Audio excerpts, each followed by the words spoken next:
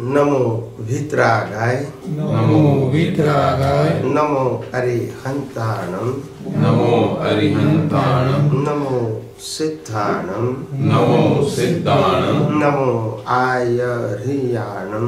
नमो आयरियाणं नमो वत्सायाणम नमो वज्रायाणं नमो लोए सव साहुणम नमो लोये सव साहुणं ऐसो पंच नमकारो। ऐसो पंच नमुकारो। सब पापणासनो सव पावपणासनो मंगलानंच सव्वे सिंह मङ्गलाणं च सर्वे सिंह परमं हवै मंगलम परमं हवै मङ्गलम्। ओम नमो भगवते वासुदेवाय। ॐ नमो भगवते वासुदेवाय। ओम नमः शिवाय। ॐ नमः शिवाय। जय सच्चिदानंद। जय सच्चिदानंद। जगत भर के संत पुरुषों का योग बल। जगत भर के संत पुरुषों का योग बल। जगत भर के सत पुरुषों का योग बल। जगत भर के संत पुरुषों का योग बल और प्रगट ज्ञानी पुरुष दादा भगवान का योग बल और प्रगट ज्ञानी पुरुष दादा भगवान का योग बल समस्त विश्व का कल्याण करे कल्याण करे कल्याण करे। समस्त विश्व का कल्याण करे कल्याण करे कल्याण करे। और कल्याण करने का निमित्त बनने की और कल्याण करने का निमित्त बनने की हम सब महात्माओं को हम सब महात्माओं को परम शक्ति दो शक्ति दो शक्ति दो। परम शक्ति दो शक्ति दो शक्ति दो। जगत के सभी जीव सुख और शांति प्राप्त करें। जगत के सभी जीव सुख और शांति प्राप्त करें। जगत के सभी जीव समाधान प्राप्त करें। जगत के सभी जीव समाधान प्राप्त करें। जगत के सभी जीव मुक्ति प्राप्त करें। जगत के सभी जीव मुक्ति प्राप्त करें। जय सच्चिदानंद। जय सच्चिदानंद।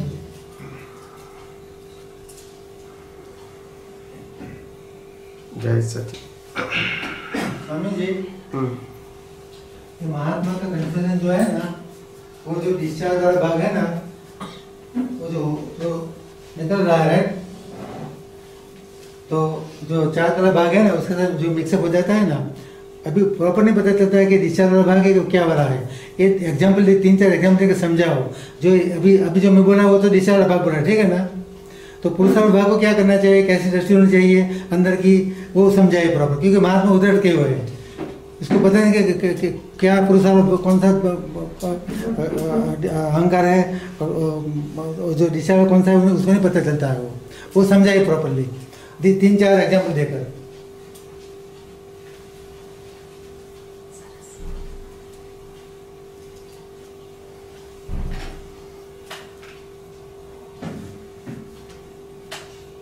हमारी प्रकृति के अंदर अंदर की भाग बात करता हूँ।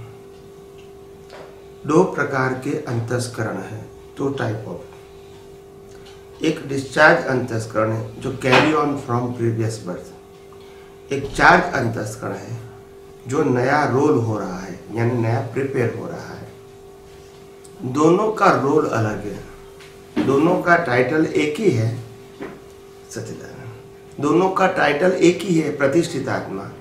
मगर दोनों का रोल अलग है एक डिस्चार्ज प्रतिष्ठित आत्मा है। जो चार्ज हुआ है, वो ऑटो मोड से डिस्चार्ज हो रहा है। वहाँ पुरुषार्थ का अंश नहीं है। और दूसरा चार्ज प्रतिष्ठित आत्मा है। इसके अंदर डिस्चार्ज का अंश नहीं है, क्योंकि वो चार्ज के अंदर सहायक है। तो दोनों का रोल अलग है जैसे एक व्यक्ति दूसरे व्यक्ति को अपमान करेंगी तो अहंकार को दुख लगेगा या तो अच्छा नहीं लगेगा। ये जो दुख लगता है, अहम गवाता है, ये डिस्चार्ज का है। ये चार्ज नहीं है। बाहर के संजोग भी डिस्चार्ज है और अंदर इफ़ेक्ट होती है, वो भी डिस्चार्ज है। इसके पीछे चार्ज प्रतिष्ठित आत्मा है। वहाँ ज्ञान दर्शन है, वहाँ पुरुषार्थ है और उसको इसी से सेपरेट रहना है। बाहर से तो वो चार्ज वाला भाग अलग ही है, मगर डिस्चार्ज वाले भाग से वो जुड़ जाते हैं। इनको हुआ है, इसको इसको मालूम है, मगर प्रतिष्ठित आत्मा चार्ट को ऐसा लगता है कि मेरे को हुआ है। बस ये कंफ्यूजन है। तो दोनों प्रतिष्ठित आत्मा अलग है। पिछले अवतार के जो चार्ज प्रतिष्ठित आत्मा है मन बुद्धि चित अहंकार वाला, अब ये अवतार में डिस्चार्ज है। आज ये प्रतिष्ठित आत्मा डिस्चार्ज वाला बोलता है कि मेरे को चार्टर अकाउंटेंट होना है। छोटी उम्र में। तो भी चार्टर अकाउंट होता है तो क्या वो पुरुषार्थ वाला है? डिस्चार्ज वाला है। यानी कहने का मतलब होता है, एक मैकेनिकल या तो ऑटो मोड है और एक सर्जन करता है नया, जिसका रिज़ल्ट ये बर्थ में नहीं आएगा। और जो ऑटो मोड है, वो आउटर के भाग में जुड़ा हुआ है। यानी जो रिज़ल्ट होने वाला है, उसके साथ वो जुड़ा हुआ है और उसी प्रकार से उसकी सोच रहेगी। मन, बुद्धि, चेत, अहंकार, उसी प्रकार का रहेगा जो बाहर डिस्चार्ज के रूप में लेकर आए तो ये दोनों का सेपरेशन ये बहुत ही इम्पोर्टेंट है। दादा भगवान की जो खोज है, वो प्रतिष्ठित आत्मा की है। मगर ये प्रतिष्ठित आत्मा में दो प्रकार का प्रतिष्ठित आत्मा है। ये समझना बहुत ज़रूरी है, क्योंकि नॉर्मली महात्मा क्या समझते हैं? बाहर जो कुछ भी होता है, अंदर असर नहीं होना चाहिए। यही मानते हैं। ऐसा नहीं है। अंदर तो होगा। अगर मैं ब्रीफ लेके आया हूँ कि आइसक्रीम में सुख है जब मैं खाऊँगा तो सुख किसको लगेगा? बॉडी को लगेगा। तो डिस्चार्ज वाला अहंकार होना चाहिए ना। तभी उसको लगेगा ना कि मेरे को सुख मिला। फिर चार्ज वाला कहेगा कि सुख मेरा स्वभाव है आइसक्रीम में सुख नहीं है। ये उनका पुरुषार्थ है। मगर आप डिस्चार्ज वाले को कहोगे कि उसको भी नहीं लगेगा। हाउ इट इज़ पॉसिबल इसको तो कहते हैं कि चार्ज का मतलब डिस्चार्ज ये पूरा जो अंतस्करण आज चार्ज हो रहा है नेक्स्ट मंथ में क्या होगा? यही अंतस्करण आएगा ना? आज चार्ज है यहाँ क्या होगा? डिस्चार्ज होगा। आप समझे ना? तो हर बातों के पीछे बिलीफ है वो आप लेके आए और उसी के मुताबिक आपकी बिहेवियर होती है। और वो बिलीफ भी डिस्चार्ज है। एक्शन स्पीच भी डिस्चार्ज और इसके पीछे जो अंतस्करण है जिसमें बिलीफ है मन बुद्धि चित्त अहंकार के ये भी पैकेज है। डिस्चार्ज पैकेज और जो चार्ज वाला भाग है अभी फ्रेश है, उसमें चार्ज हो रहा है, इसमें प्रोसेस हो रही है। तो उसमें चार्ज वाले भाग में चार्ज करना वो भी आपको, आपके हाथ में है और चार्ज का करेक्शन करना वो भी आपके हाथ में अभी है। डिस्चार्ज में कुछ भी नहीं है, ना आउटर है, ना इनर है। आप समझे? तो इसीलिए ये लाइन ऑफ़ डिमार्केशन ध्यान से सुनो। ये इतना शार्प लाइन ऑफ़ डिमार्केशन है अभी मैंने इसमें डेफिनेशन बताया है। कई लोग कहते हैं कि डिस्चार्ज का जो भाव मन है और चार्ज का भाव मन है, इसमें क्या डिफरेंस है? दोनों में भाव होता है। डिस्चार्ज में भाव तो होंगे ना। मेरे को कार लेना है, मकान लेना है, शादी करना है, पढ़ना है, ये लेना है, वो लेना है, वो भी भाव तो होंगे ना। और चार्ज में भी भाव होते हैं। तो उसमें लाइन ऑफ़ डिमार्केशन क्या है? तो लाइन ऑफ़ डिमार्केशन ये है कि जो डिस्चार्ज भाव होते हैं, वो इस बर्थ के साथ कनेक्टेड है। इधर उसका रिज़ल्ट आता है या नहीं आता है। मगर कनेक्टेड विद दिस बर्थ और जो चार्ज भाव है, वो सार निकाल के भाव करता है कि भले ऐसे संजोग बने, मगर ऐसा संजोग नहीं होना चाहिए। यानी अवस्था के रूप में वो करेक्शन करता है। क्या करता है? करेक्शन तो करेक्शन के मुताबिक वो रिज़ल्ट आएगा। तो ये दोनों में डिफरेंस है। क्या है? आप समझे? तो धीरे धीरे आपको मैं प्रश्न करते रहूँगे, मैं समझाते रहूँगा। एकदम से आपको जल्दी नहीं समझ में आएगा। हुँ? हम्म? तो ये बात धीरे धीरे समझ में आएगी। इतनी शार्प बात है, क्योंकि इस प्रकार की बातें हमने कभी न सुनी है, न सोची है और न पढ़ी है। तो समझ में नहीं आएगी। और हिंदुस्तान के हर धर्म वालों ने यही कहा कि दो ही चीज़ें, आत्मा और शरीर, आत्मा और शरीर। प्रतिष्ठित आत्मा की किसी ने बात ही नहीं कहा। तो इस प्रकार की सोच हमारी प्रकट ही नहीं हुई है। और इसमें भी फिर दो प्रतिष्ठित आत्मा। तो इसमें और और शार्प हो जाता है। तो ये बात समझने में थोड़ा समय लगेगा। मगर जैसे जैसे आप अनुभव करते रहोगे, अंदर से तो आप खुद पहचान कर सकोगे कि आखिर ये भाव आया और इसका रिज़ल्ट आ गया। मतलब ये पूरा पैकेट डिस्चार्ज है। चार्ज का रिज़ल्ट इस बर्थ में आता नहीं है। कोई भी चार्ज भाव का रिज़ल्ट इस बर्थ में आता नहीं है। प्रिंसिपल है। कौन सा प्रिंसिपल पैदा होने से पहले आपके जितने भी कर्म है वो कर्म को भुगतान करने के लिए कितने ब्रीद चाहिए, वो ब्रीद लेके आए हैं, उसका दूसरा नाम है आयुष्य कर्म। और इसके मुताबिक आपके एक एक कर्म डिस्चार्ज होते हैं। अभी आप इस वर्ष में कोई कर्म चार्ज करोगे तो इसका ब्रीद कहाँ से लाओगे? It is be called a principle तो इम्पॉसिबल है, क्या है? तो यानी सिद्धांत बताऊँगा, तब मालूम होगा कि ये पॉसिबल नहीं है। नहीं तो लोग कहेंगे, अभी अभी कर्म चार्ज किया डिस्चार्ज क्यों नहीं होगा? तो किसी के पास लॉजिक नहीं है। बोला, नहीं होगा तो नहीं होगा, बस, ये लॉजिक है थोड़े इस रिक्वायर प्रिंसिपल के सिद्धांत क्या है? कुदरत का कानून सिद्धांत से काम करता है। आपकी इंडिविजुअल मान्यता पे काम नहीं करता है। तो ऐसे ऐसे धीरे धीरे आप सिद्धांत समझते रहोगे तो ये पूरा विज्ञान आपको समझ में आएगा। और मैंने पहले सेशन में ही बिल्कुल फंडामेंटल साइंस जो है थोड़ी डिफरेंट टेक्निक पे बिल्कुल समझाया। किसी ने रिकॉर्डिंग किया है तो? सुबह किस किसने किया है रिकॉर्डिंग नहीं नहीं। नहीं नहीं किया? नीना बहन बच्चों किसने किया? हाँ तो उसको बोलना ना कॉपी करके दे दे साइन कर दे अपने आपके आपके ऊपर ले लेना। फिर सबको भिजवा देना बस। इजी हो जाएगा। एक सुबह का सेशन काफ़ी अच्छा था मैंने बेसिक बताया था बेसिक मगर आ, क्या कहते हैं कि जो पहले बताया था उससे दूसरे एंगल से बताया है। और एकदम जिन्हें आप कहें जिसको कहें बिल्कुल सिस्टमेटिक जिसमें कोई कंफ्यूजन कोई क्वेरी पूरी सिस्टम समझने में नहीं रहेगी। तो आफ्टरनून का माहौल भी ऐसा था। और पहला दिन भी था और धीरे धीरे सब बातें पुटअप करके पूरा साइंस का जो बेस है कि मैं क्या बताना चाहता हूँ, ये बताना क्यों नहीं चाहता हूँ, दुनिया का हर धर्म है, वो फॉर्मेट है और फॉर्मेट के अंदर भगवान, गुरु, फिर इसके अंदर मंदिर, मंत्र, शास्त्र disciples followers rituals and institute ये फॉर्मेट सभी धर्मों के अंदर इक्वल है। टाइटल सिर्फ़ चेंज होता है। तो मैं फॉर्मेट की बात नहीं करता हूँ।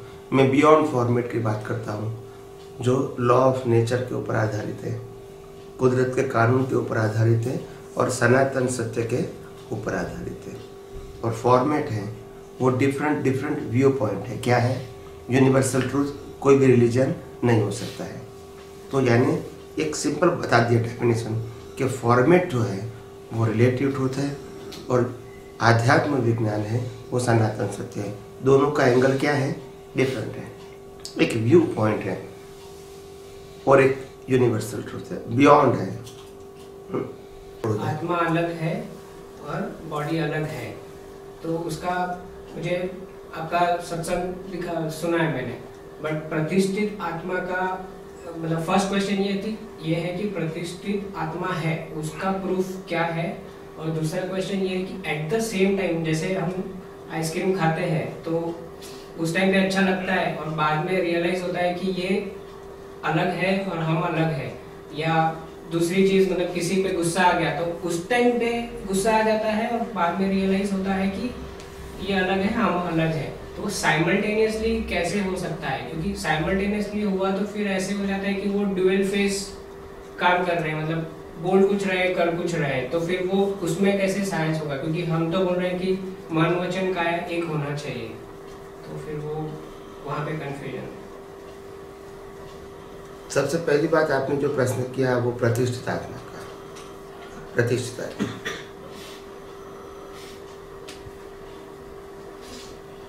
ये जो बॉडी है ना बॉडी शरीर इस शरीर की डिज़ाइन किसने बनाई?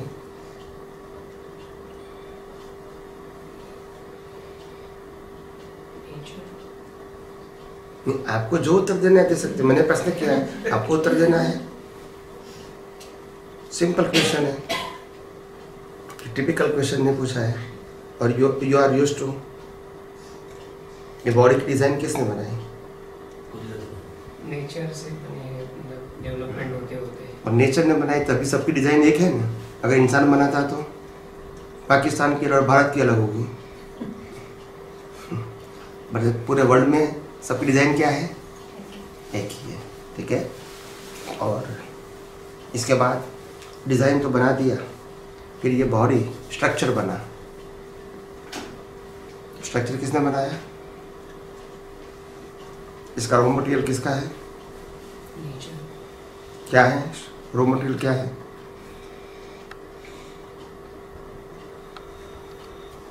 नहीं मालूम। पृथ्वी, जल, वायु, अग्नि और आकाश, जिसको पंच महाभूत बोलते हैं, इससे हमारा फ़िज़िकल बॉडी बना है। ठीक है? वो भी किसका है?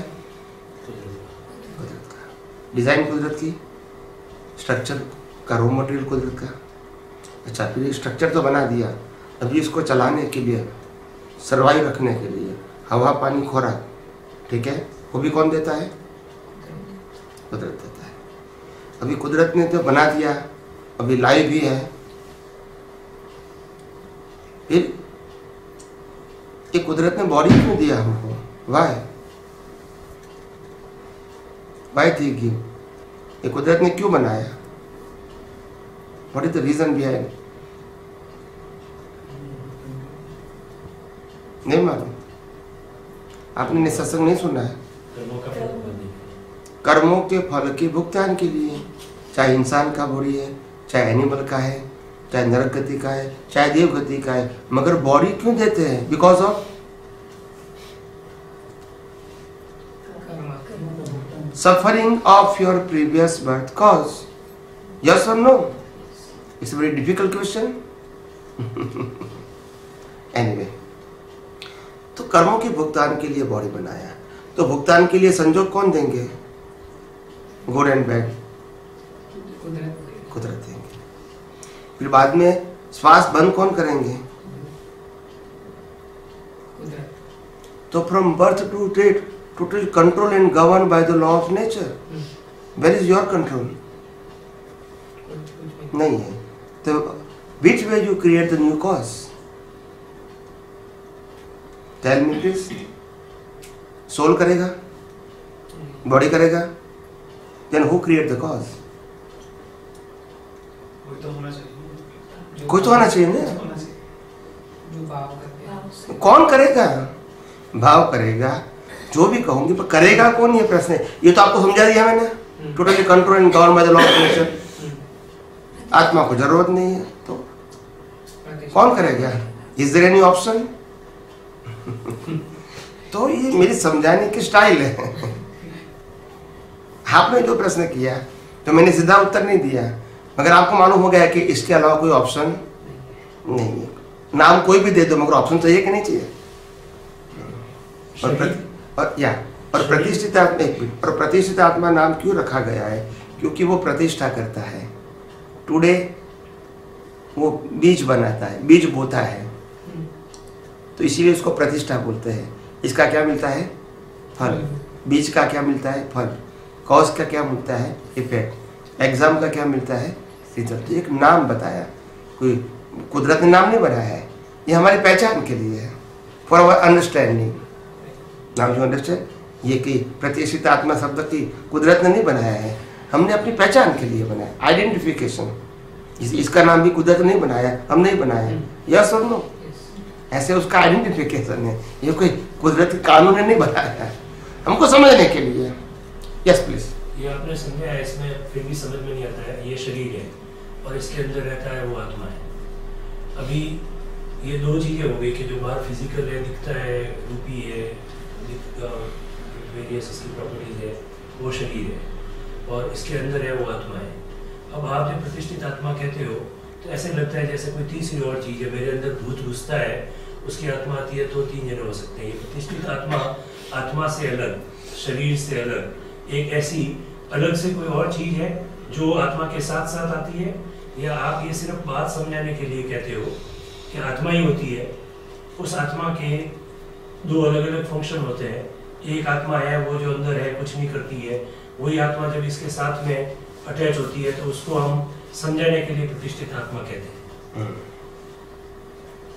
ये आपने अच्छा प्रश्न किया क्योंकि जब आप, जैसे मैंने बॉडी के लिए समझाया, ऐसे आत्मा के लिए समझाऊँगा तो आपको उत्तर मिल जाएगा। उनका प्रश्न था, प्रतिष्ठा आत्मा के लिए। मैंने बॉडी समझाया तो उसको उत्तर मिल गया प्रतिष्ठा आत्मा का। तो मैं आत्मा समझाऊँगा तो आपको उत्तर मिल जाएगा प्रतिष्ठात्मा का। हम्म। बॉडी का फ़ंक्शन क्या है? बॉडी चेतन है। अविनाशी है। और सभी सॉरी सोल चेतन है अविनाशी है और सभी प्रकार के इनफाइनाइट पावर उनके पास इनबिल्ट है। क्या है? चेतन अविनाशी और सभी प्रकार के अनंत शक्ति उनके पास इनबिल्ट है। ये उनकी प्रॉपर्टी है ये उनकी क्वालिटी है आत्मा की। वो क्यों कर्म करेगा? वाह उनके पास अनंत ज्ञान है अनंत दर्शन है अनंत सुख है अनंत शक्ति है अविनाशी है चेतन है। वो कर्म क्यों करेगा?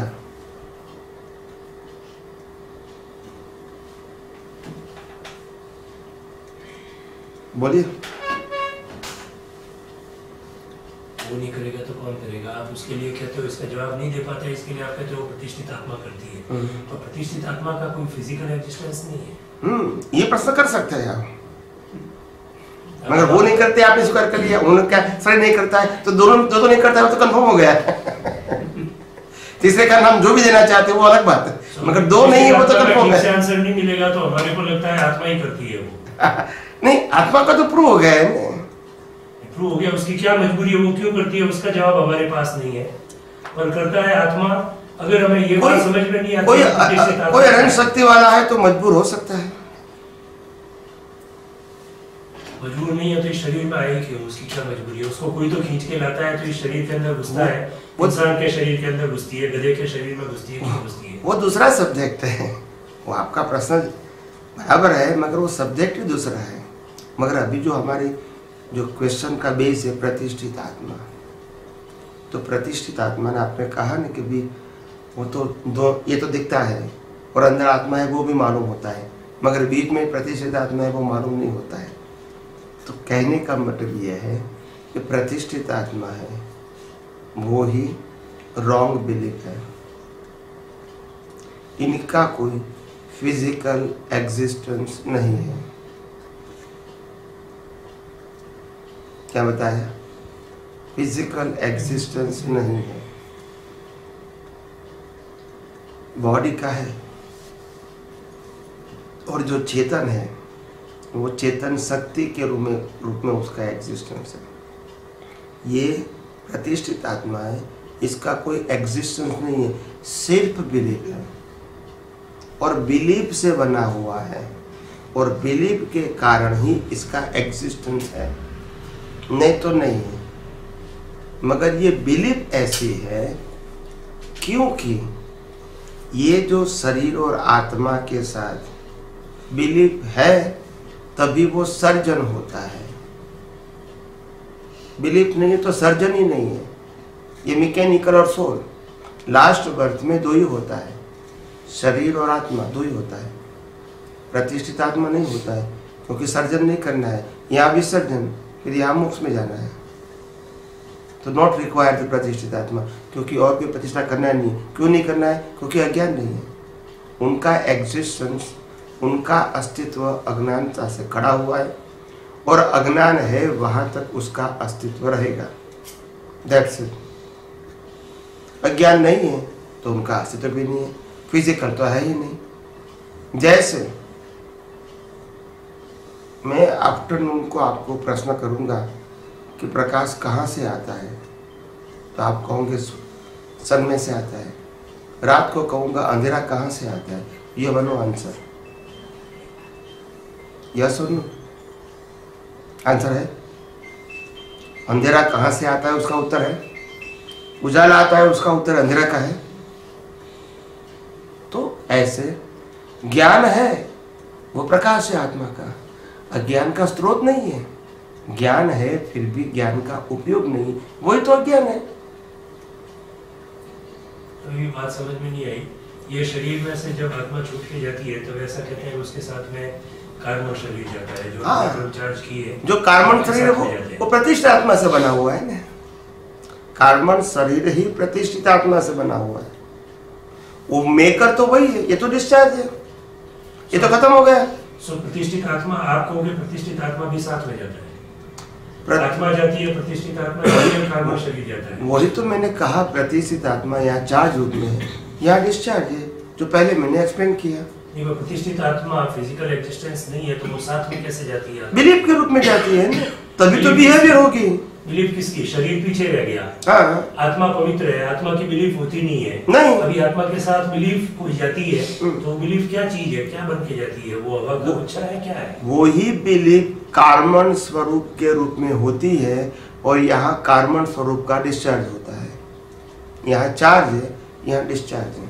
जैसे हम ये चार्ज करते हैं डिस्चार्ज होता है दिखता नहीं है। ये बैटरी को चार्ज करके निकाल दो डिस्चार्ज करूँगी बैटरी तो वही की वही दिखेगी। So, इन्हीं में आप ये कह रहे हो कि जो कार्बन शरीर है लेके साथ में आया वो डिस्चार्ज प्रतिष्ठित आत्मा है। वही। और नए कार्बन शरीर का जो सर्जन हो रहा है वो चार्ज पर चार्ज। मैंने कहा ना समझाने के लिए टाइटल कोई परमानेंट नहीं है।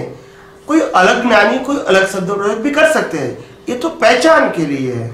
फॉर आइडेंटिफिकेशन कुछ तो बताना पड़ेगा ना। और कोई व्यक्ति और कोई नाम देता है कभी कोई अंतरात्मा बोलता है तो भी गलत नहीं है। आप समझे ना? मगर एक्सप्लेनेशन साइंटिफिक होना चाहिए। दैट इज़ इम्पोर्टेंट तो प्रति प्रतिष्ठित आत्मा इज़ इक्वल टू बिलीफ बोल सकते हैं। ऑफ़ कोर्स लाइफ इसका चार नाम है। रॉन्ग बिलीफ एक मिनट इसका चार नाम है। बताओ रॉन्ग बिलीफ राइट समझाओ इसका चार नाम है। एक तो लाइव ईगो एक नाम है। दूसरा नाम है प्रतिष्ठित आत्मा। तीसरा नाम है मिश्र चेतन। और चौथा नाम है ज्ञानीपुर दादा, भगवान ने बताया, हूँ, बाबू ने मंगलदास तो जो बाबू बोलते हैं, इसका नाम ये है। जस्ट समझाने के लिए it's a different title to explain इसको ना, शब्दों के अंदर जाने की ज़रूरत नहीं है, उनका रोल समझने की कोशिश करो। टाइटल कोई भी दे सकता है, दूसरा भी दे सकता है। वो टाइटल वो परमानेंट आइडेंटिटी नहीं है, मगर रोल परमानेंट है, जहाँ तक बॉडी है, वहाँ तक वो रहेगा। जितने अवतार है, वहाँ तक रहेगा। आप समझे नाम कोई भी दे दो। अगर साउथ में जाओगे तो और भी नाम दे सकते हैं। तो title is not important but it's required the title for identification जैसे ये शरीर है, ये आत्मा है। अब अगर मन की बात करते हैं तो मन जैसी तो कोई चीज़ दिखती भी नहीं है है भी नहीं। तो मन भी एक बीच में खड़ा होता है। शरीर और आत्मा मिलती है तब ब्रेन से माइंड से थॉट्स आते हैं, सोचते हैं। और उसको मन कहते हैं। तो उसी तरह, वो भी एक काइंड ऑफ़ नया क्रिएशन एक आर्टिफिशियल जो दिखती भी नहीं है, और न शरीर है, न आत्मा है, और फिर भी कुछ है। वैसा ही कुछ है क्या प्रतिष्ठित आत्मा? प्रतिष्ठित आत्मा माइंड का लाइव माइंड का फोर फेसेस है। मन, बुद्धि, चित्त, अहंकार। ये चारों का एक नाम। अंतर अंतरात्मा भी बताया, अंतस्करण भी बताया, और उसका नाम प्रतिष्ठित आत्मा तब बनता है, अंतस्करण प्लस स्पीच एंड एक्शन का बीच। ये छह चीज़ों को कॉज के रूप में प्रतिष्ठित आत्मा बोलते हैं। डिस्चार्ज के रूप में अंदर अंतस्करण जाएगा, बाहर बाह्यकरण रहेगा स्पीच और एक्शन और बाहर का जो स्पीच और एक्शन है, वो depend on circumstances it is created by the law of nature अंतस्करण आपका खुद का है। वो लॉ ऑफ़ नेचर ने बनाया नहीं है। मगर बाह्यकरण जो है बॉडी के साथ स्पीच एंड एक्शन जुड़ा है। It is depend on circumstances तो मेन जो प्रोसेस होती है, वो बहुत इंपॉर्टेंट है। दोनों पक्ष में, या चार्ज के फॉर्म में, या डिस्चार्ज के फॉर्म में। और बाद में जो प्रोडक्शन होता है, अंतस्करण is a processing factory of a new cause तो नए कर्म चार्ज होते हैं। स्पीच एंड एक्शन के फॉर्म में। उसकी प्रोसेस होती है अंतस्करण में। तो यहाँ ये अंतस्करण चार्ज है, यहाँ डिस्चार्ज हो गया, अंदर। ठीक है? और बाहर स्पीच और एक्शन रिज़ल्ट के रूप में आया। इसका संजोग कौन बनाते हैं? कुदरत। आप समझे ना? तो ये चार्ज और ये डिस्चार्ज हो गया। तो यहाँ मैकेनिकल हो गया। यहाँ एक्टिव है और यहाँ मैकेनिकल और बॉडी भी चेंज हो गई। और ये बॉडी कुदरत ने दिया है। हमारा चॉइस नहीं है। हम है भी नहीं और हमारा चॉइस भी नहीं है। चॉइस तो हमारे पिछले जन्म में अपन ने इस तरीके का मांगा चाहा इसीलिए तो नहीं आप ऐसे नहीं मांग सकते कि मेरे को बॉडी चाहिए इंसान का।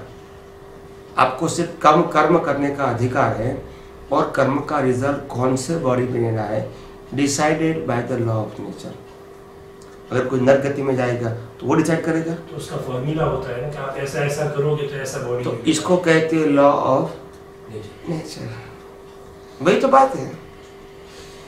रैंडम कैसे हो सकता है? ये पूरा वर्ल्ड चलता है यूनिवर्स चलता है, ऐसे रैंडम थोड़ी चलेगा। तभी तो लॉ ऑफ़ नेचर बोलते हैं, सबके लिए जो एक है। अलग अलग नहीं है। ये कंट्री वाइज या कास्ट वाइज या रिलीजन वाइज नहीं है। वो सबके लिए एक है। आपने यहाँ पे एक पॉइंट जो कहा कि भाव, और जो कॉज नए बनते हैं हम्म। जो प्रतिष्ठित आत्मा लाइव वाला है हम्म, उसको बनाने वाला सबसे इम्पोर्टेंट फैक्टर तो भाव ही है हम्म, उस भाव को और डिस्चार्ज वाला भाव है उसको आपने लाइन ऑफ़ डिमार्केशन खींच के जो एक्सप्लेन करने की कोशिश की। वो ठीक से समझ में नहीं आया कि डिस्चार्ज वाला भाव कौन सा है और चार्ज वाला भाव कौन सा है डिस्चार्ज वाला भाव जो मैंने बताया है वो ये बताया जो भाव इस भव के साथ इस बर्थ के साथ जुड़ा हुआ है। वो सब भाव डिस्चार्ज रिज़ल्ट में आए या न भी आए। इसका क्या मतलब? सब भाव इसी भाव से तो जुड़े हुए जो फिर भी हर भाव रिज़ल्ट में आना ज़रूरी नहीं है।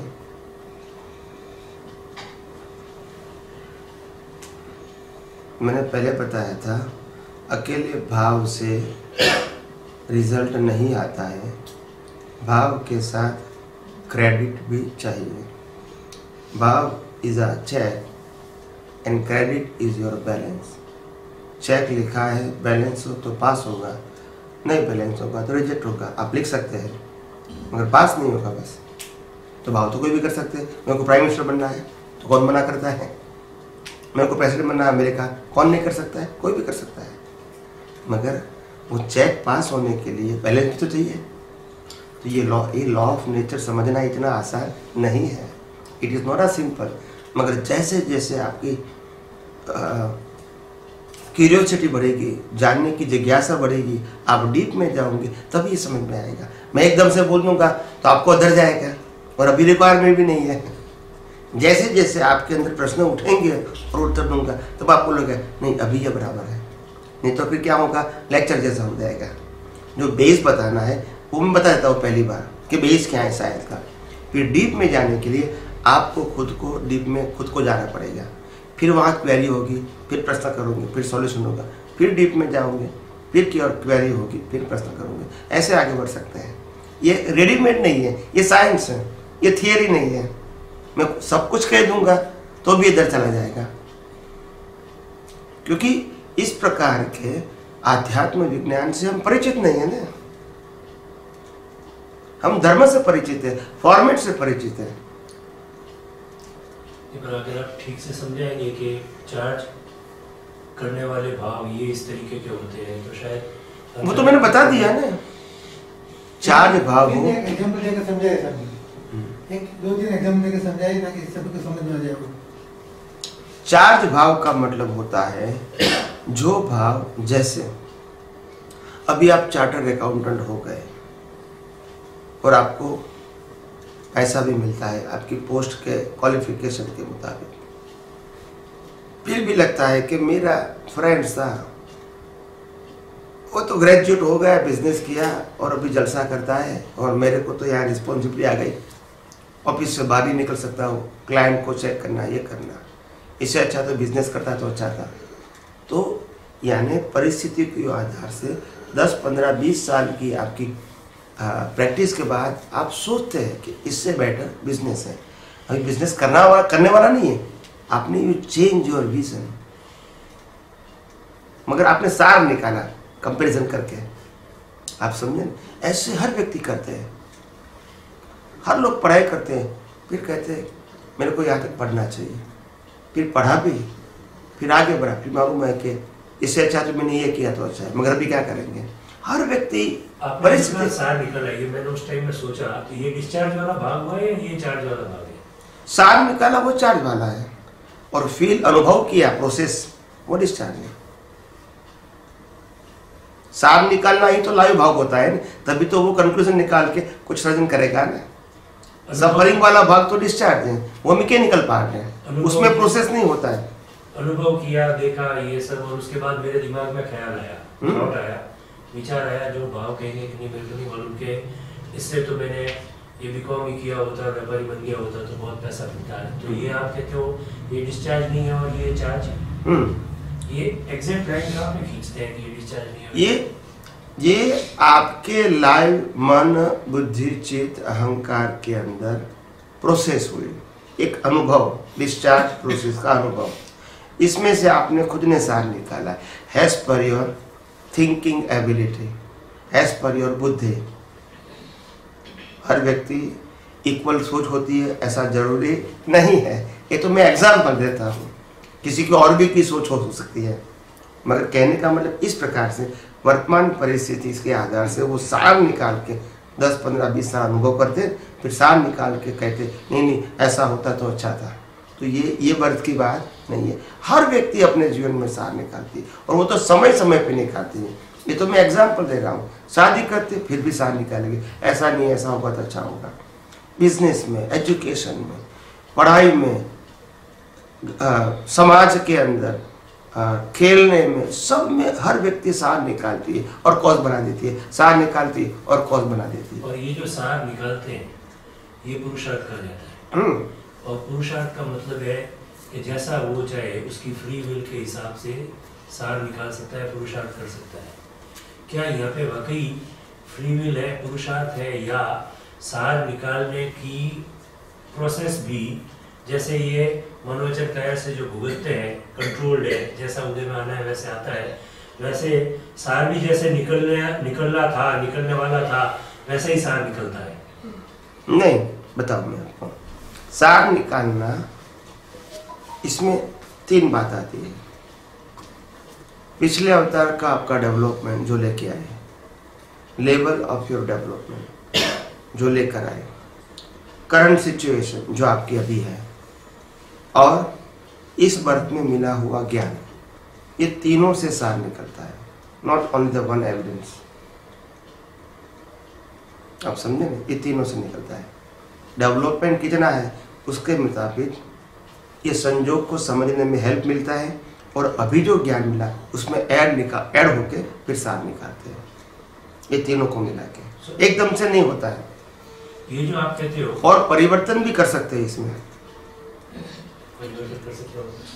अभी आपने सार निकाल के कॉज डाले उसमें परिवर्तन भी कर सकते हैं। करेक्शन जिसको बोलते हैं। कभी भी कर सकते हैं। आप यहाँ पे कहते हो कि ऐसे करके आप कॉज का क्रिएशन करते हो वहाँ पे आप इंडिपेंडेंट हो आपकी फ्री विल है आप जैसे चाहो वैसे कॉज बना सकते हो और उसमें करेक्शन कर सकते हो। हम्म, आप जैसे ही कुछ अलग ज्ञानी क्योंकि आप ज्ञानी हो आपके विजन में ही आता है आपने ये ज्ञान दिया। ऐसे ही कुछ दूसरे ज्ञानियों ने कुछ इसमें थोड़ी सी अलग तरीके की बात की जो मैं आपसे जानना चाहता हूँ कि उसमें और जो आप कह रहे हो उसमें फ़र्क मेरे को नज़र आता है वो वाकई फ़र्क है या नहीं है? क्या मैं गलत समझ रहा हूँ या सही समझ रहा हूँ? वो ये कहते हैं कि आपका जैसा अगला इसके बाद वाला बर्थ जैसा होने वाला है उसके हिसाब से आपको भाव आते हैं। हम्म। जैसा भाव होने वाला है उस हिसाब से भाव आते हैं उस हिसाब से आप कॉज डालते हो आपकी वहाँ पे भी फ्रीडम नहीं है। Hmm, okay. कि ये पूरा का पूरा जैसे और उसके लिए वो अ, अ, अ, एक दो ये जैनिज्म में दिगंबरों की बात है। एक कहानी जैसे वो कहते हैं कि भगवान ऋषभ देव थे और भगवान महावीर स्वामी थे वो पहले तीर्थंकर थे ये चौबीसवें तीर्थंकर हम्म, भगवान महावीर स्वामी का जीव उस सभा में हाजिर था जो उनका पोता था। और वहाँ पे उन्होंने कहा कि ये चौबीसवा तीर्थंकर बनेगा। जब उन्होंने चौबीसवा तीर्थंकर बनेगा कहा तब तक उनके लाखों जन्म होने बाकी थे और उन्होंने तीर्थंकर कर्म का बीज भी नहीं डाला था जो उन्होंने महावीर बनने के तीन या चार जन्म पहले डाला था। तो उनको इतने पहले किस तरीके से ऋषभ देव को पता चल गया कि ये इतने लाखों जन्मों के बाद बीज डालेगा और चौबीसवा तीर्थंकर इस चौबीसी का बनेगा? इतना उनके विजय में आ गया। फिर तो उस मरीची के जीव की कहीं फ्रीडम थी नहीं ऐसा होना था। उस हिसाब से हुआ। भाव आता गया भाव बनता गया आगे चलता गया और आखिर में एग्जैक्ट टाइम पे जाके उसको तीर्थंकर गोत्र का बीज पड़ा और वो महावीर हो गया। शास्त्रों के आधार से सत्यावीस भाव बताए हैं। मरीची के भाव से महावीर तक के सत्यावीस भाव बताए हैं। नए साल के वहाँ से लेके सत्ताईस बताए मरीची के वहाँ से गिने होते तो प्रॉब्लम नहीं था। नए साल का भाव तो काफ़ी रिसेंट था उसके बाद दो तीन बार वो देवलोक में गए एक आधी बार नरक में गए बाकी पशु और मनुष्य के मरीची के वहाँ से तो मेरे हिसाब से लाखों जन्म हुए होंगे। नए साल से सत्ताईस बताए। इसके लिए ये जो कॉन्ट्रास्ट वो समझ में नहीं आता है। बता बताओ मैं आपको। नहीं, सब समझ में कहने का मतलब क्या है कि ये जो आपने बताया कि आपका भाव भी फिक्स है और नेक्स्ट बर्थ भी फिक्स है आपका, आपके कहने के मुताबिक। अभी जो दूसरा व्यूपिन बताया उसके मुताबिक। तो फिर पुरुषार्थ और प्रावृत्त की दो शब्दों की ज़रूरत क्या थी? It's a mechanical cycle. Upgrade कैसे होगा? जीवन चेंज कैसे होगा? नरगति में कैसे जाएगा? पशु योनि में कैसे जाएगा? देवलोक में कैसे जाएगा? मोक्ष में कैसे जाएगा? Who decided if it is fixed by someone then how one what I can do anything for my future फिर कर्मों की बात ही कहाँ रही? What is the meaning of karma then अगर मेरा कर्म का चार्ज होना फिक्स है तो मेरे पास तो कोई पावर है ही नहीं। न डिस्चार्ज का पावर है न चार्ज का पावर है तो मैं देवलोक में क्यों जाऊँगा? नरक लोक में क्यों जाऊँगा? पशु में क्यों जाऊँगा? गलती तो मेरी है ही नहीं। इस सवाल का जवाब मेरे पास नहीं है पर आधा जवाब है। नहीं जैसे नीचे से जब वो एक इंद्रिय से या निगोद से एक इंद्रिय में आता है वहाँ से लेके पशु तक और मनुष्य में आता है वहाँ पे उसका कोई रोल नहीं होता है और नेचर उसको सपोर्ट करता है और वो मनुष्य तक आ जाता है। शायद इसी तरीके से वो आगे चलता चलता मुक्त हो जाएगा मुक्त चला जाएगा। नहीं मनुष्य में से मनुष्य में आने तक के पहले तो वो नेचुरल ग्रोथ है। क्या है? नेचुरल ग्रोथ क्योंकि उस समय उसके पास पावर ही नहीं है कर्म चार्ज करने का। मनुष्य के अंदर ही कर्म चार्ज करने का पावर है। ओनली वहाँ से ही उनकी चारों गति शुरू होती है। उससे पहले गति भी नहीं है। एक जैसे पंचेंद्रिय वन वे ग्रोथ है। उसमें अप डाउन भी नहीं है। मेरे को अगर चॉइस देंगे तो जो आप थियरी बताते हो उसको मैं मानना पसंद करूँगा। पर मेरे को ये दूसरे ज्ञानियों की जो थियरी मैंने सुनी तो वो समझ में नहीं आ रही है। मैं आपसे समझने की कोशिश कर रहा वही तो मैं कहता हूँ। नहीं कोई भी कोई भी बात किसी की भी हो, प्रश्न व्यक्ति का नहीं है, प्रश्न प्रिंसिपल का है, कि उसमें कुछ लॉजिक तो होना चाहिए। आप कहोगे कि आपके चार्ज और डिस्चार्ज दोनों ऑटोमेटिक होते हैं या तो फिक्स है तो फिर why I am responsible and why I am suffering why फिर मेरे को धर्म की क्या ज़रूरत है? पुरुषार्थ की ज़रूरत क्या है? फिक्स तो है। फिर मैं क्यों कहूँगा आप धर्म करो? मैं क्यों कहूँगा आप पुण्य का चार्ज करो? मैं क्यों कहूँगा आप मोक्ष के लिए पुरुषार्थ करो? इफ़ इट इज़ फिक्स तो फिक्स में इतना भी है कि आपके आखिर के कुछ जन्मों में मोक्ष से पहले आपको पुरुषार्थ करना पड़ेगा। ये वाला भी फिक्स नहीं आता है। मोक्ष मोक्ष जाने से पहले? मोक्ष जाने से पहले के कुछ जन्मों में आपको पुरुषार्थ करना पड़ेगा। आत्मा से every birth देह करना पड़ेगा। करना पड़ेगा मैं अलग हूँ ये अलग है ये करना पड़ेगा। ये वाला भाग भी फिक्स है। आपको करना पड़ेगा आप करोगे और उसके बाद आपकी मुक्ति होगी। दिस ऑल्सो इज़ डिटरमाइंड नहीं ये ये कुछ भी फिक्स नहीं है। उसका अंतिम बर्थ के पहले का बर्थ भी फिक्स नहीं है। कोई भी बर्थ फिक्स नहीं है। इवन तो महावीर का बर्थ गोत्र तीर्थंकर गोत्र दो या तीन अवतार से पहले होता है, मगर लाइफ नहीं होती है। लाइफ तो प्रीवियस बर्थ में होती है नेक्स्ट बर्थ की लाइफ तो ये समझने की बात है, मनुष्य भव में एक मनुष्य, चार मनुष्य भव के कर्म चार नहीं कर सकते। इसका मतलब क्या ये कंक्लूजन मैं निकालूं कि ये भगवान ऋषभ देव ने मरीचि के जीव को ये कहा ये वाली बात जो शास्त्रों में आती है वो सही नहीं है। क्योंकि महावीर का तीर्थंकर के रूप में आना तो उनके महावीर के पहले के तीन जन्म पहले ही डिसाइड हुआ। बीज उन्होंने वही डाला वो जन्म के शास्त्र भी कहते हैं कि इस जन्म में उन्होंने तीर्थंकर गोत्रकर्म का बंधन किया। तीर्थंकर गोत्र कर्म नहीं तीर्थंकर गोत्र कर्म की डिज़ाइन बनना शुरू होगा। तीर्थंकर बनने की गोत्र तो पहले डाल दिया। डिज़ाइन डिज़ाइन समझते हैं। ये तीर्थंकर बनना है तो मैंने सौ साल पहले सौ भाव पेड़ डाल दिया बीज ठीक है? मगर तीर्थंकर बनना फ़िज़िकल फॉर्म तीर्थंकर गोत्र एक, एक स्टेटस का टाइटल है। लाइफ तो चाहिए नहीं पूरी? तो लाइफ उस समय नहीं बनी है। मैंने पहले भी कहा कि पाँच दस साल पाँच दस अवतार पहले मनुष्य का अवतार इतना फिक्स नहीं होता है। प्रीवियस बर्थ में ही नेक्स्ट बर्थ होता है। तो आगे का तो सवाल ही नहीं है। कॉज डाल सकते हो। और वो भी एक टाइटल बोलते हैं। जैसे मैं आज तीर्थंकर का कॉज डालूँगा तो डाल सकता हूँ मैं। और मैं तीर्थंकर बनने वाला हूँ, पचास अवतार भी हो सकते हैं, सौ अवतार भी हो सकते हैं। एक बीच की बात है फुल फॉर्म नहीं तैयार हुआ अभी। और जब फुल फॉर्म नहीं होगा, वहाँ तक रिज़ल्ट भी नहीं आएगा। मैं डाल तो सकता हूँ। आज मैं कहता हूँ, मैं भारतवर्ष का, हिंदुस्तान का, मैं राजा बनना चाहता हूँ, मैं डाल सकता हूँ बीच। मगर उसके लिए मेरे को पच्चीस, पचास, सौ, पचास, पाँच सौ अवतार भी लेने पड़ेंगे। हाँ तो वो सत्ताईस से सर्टेनली ज़्यादा वाले जन्म उनके जो भी है। वहाँ से। सत्ताईस जन्म पहले नए साल से शुरू होता है कहीं पे बीज डाला पहुँच डाला और बाद में उनका आ, उसका एक्चुअल ट्रांसफॉर्मेशन होना शुरू होती है तीर्थंकर बनेंगे। उनको इतना पहले दूसरे किसी केवल ज्ञानी को तीर्थंकर को पता कैसे चल गया कि इसका आगे ये इस तरीके से होने वाला है। क्या ये बात इसका मतलब है सही नहीं थी? और ऐसी डाली है ये विश्वास श्रद्धा के लिए? सिंपल बात है। आपने जो कॉज डाल दिया है वो सौ अवतार के बाद भी रिज़ल्ट आने वाला है। वो केवल ज्ञानी बता सकते हैं क्योंकि केवल ज्ञानी कॉज देख सकते हैं जो नहीं डाला है वो नहीं देख सकते। अभी केवल ज्ञानी आपने कॉज कौन सा डाला? वो देख सकते हैं। दस एक एक मिनट। दस पाँच मिनट के बाद डालोगे वो नहीं देख सकते हैं।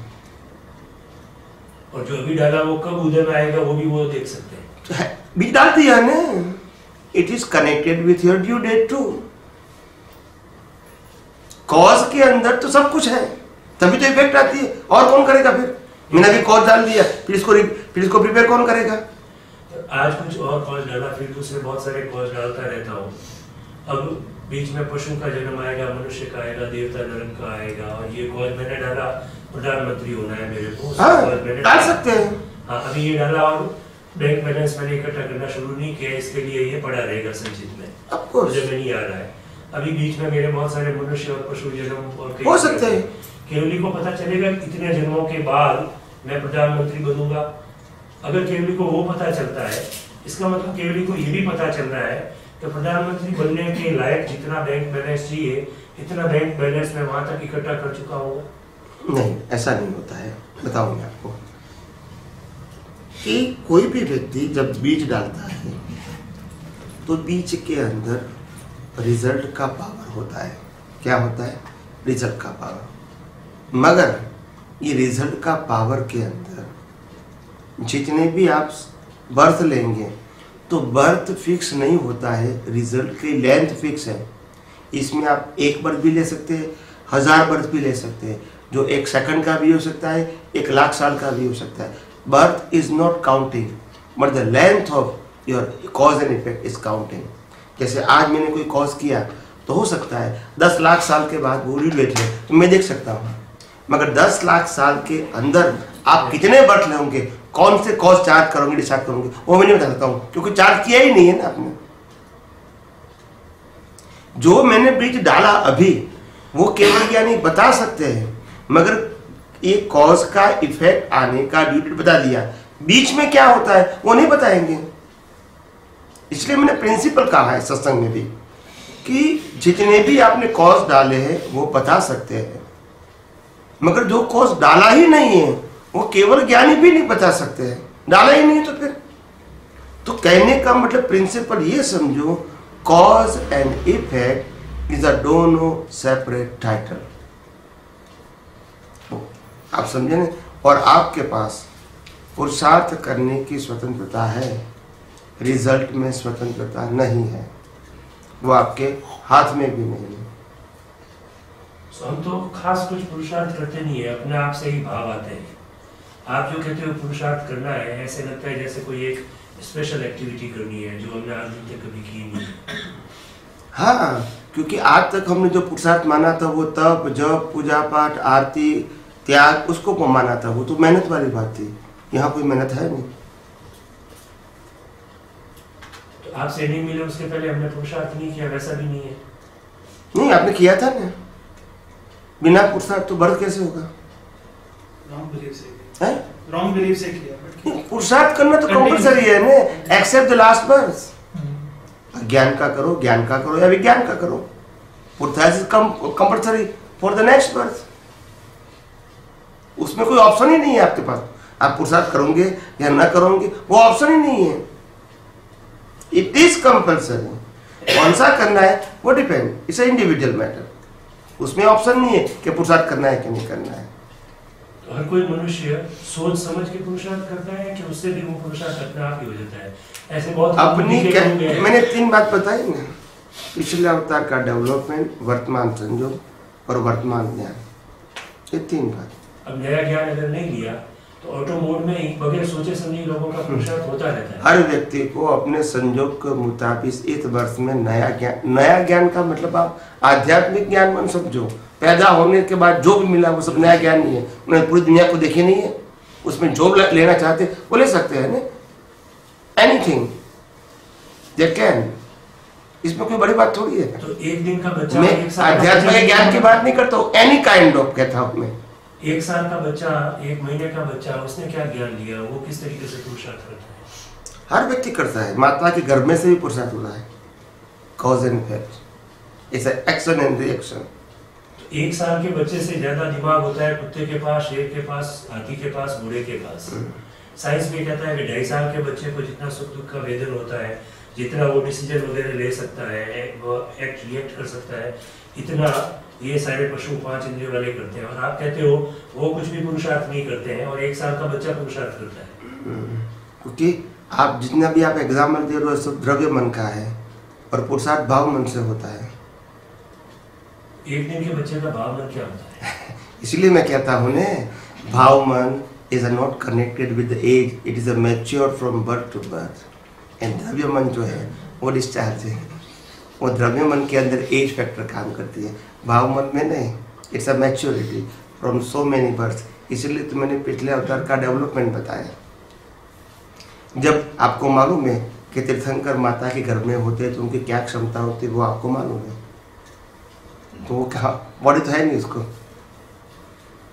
तो ये मैंने इसीलिए कहा कि हमारे शास्त्रों के अंदर जो कुछ बातें लिखी गई है, वो गलत नहीं है, मगर बहुत लिमिटेड बात है, और उसके बाद लिमिटेड होने के बावजूद भी उसको एक्सप्लेन करने वाला, जो साइंटिफिक विजन नहीं होने के बाद, जो शास्त्रों में लिखा एज इट इज़ लोगों को एक्सप्लेन किया विदाउट एनी लॉजिक तो पीपल सुनते गए मगर किसी ने प्रश्न नहीं किया और श्रद्धा से बात को स्वीकार कर लिया? अभी जब मैं विज्ञान की बात करता हूँ, तब आप प्रश्न करते हैं, अभी तक तो शास्त्र लोग ने सुने हाँ जी हाँ करके रख दिए हैं। कभी किसी ने पूछा नहीं किसी को? हाँ भगवान ने कहा है, महावीर ने कहा है, जो कहा है वो सही है, हमको सोचने की ज़रूरत नहीं है। अभी मालूम हुआ कि साइंस है, ये रैंडम बातें नहीं है, मगर क्योंकि जो शास्त्र है, वो ओरिजिनल मूल पुरुष ने कभी लिखा नहीं है, कोई भी धर्म के शास्त्र। उनकी परंपरा में लिखे गए और वो अप्रोक्सीमेट है एग्जैक्ट नहीं है। उसके बाद भी वो शास्त्र मूल रूप से अभी तक रहा भी नहीं है। जो लिखा है, वो भी मूल रूप से नहीं है और अभी भी मूल रूप से नहीं है। और सभी लोगों ने अपनी बुद्धि से विदाउट एक्सपीरियंस उसको एक्सप्लेन किया है। और लोग स्वीकारने लगे, क्योंकि वो जब एक्सप्लेन करते थे, तब वो क्या कहते, ऐसा नहीं कहते थे कि मैं जो समझता हूँ, वो बता रहा है। वो कहता है, महावीर क्या कहता है? बस तुम्हारा दिमाग बंद हो गया। तो बोलेगा तो आप क्या कहोगे? और इसी के कृष्ण ने ये कहा राम ने ये कहा आपको सुनना ही है यू आर नो चॉइस और दो हज़ार पाँच हज़ार साल महावीर को ढाई हज़ार साल हुए कृष्ण को पाँच हज़ार साल हुए। और इसके बीच में कोई ज्ञानी आए नहीं जिन्होंने ये जो ठीक से नहीं लिखा गया था उसको ठीक से करने की कोशिश की। पच्चीस सौ साल छब्बीस सौ साल पहले भगवान महावीर हो गए। उसके बाद बहुत ज्ञानी हो गए। ऐसा नहीं कि नहीं ज्ञानी हुए हुए। सबसे पहली बात यह है कि अनुभवी ज्ञानी कभी किताब लिखते नहीं है।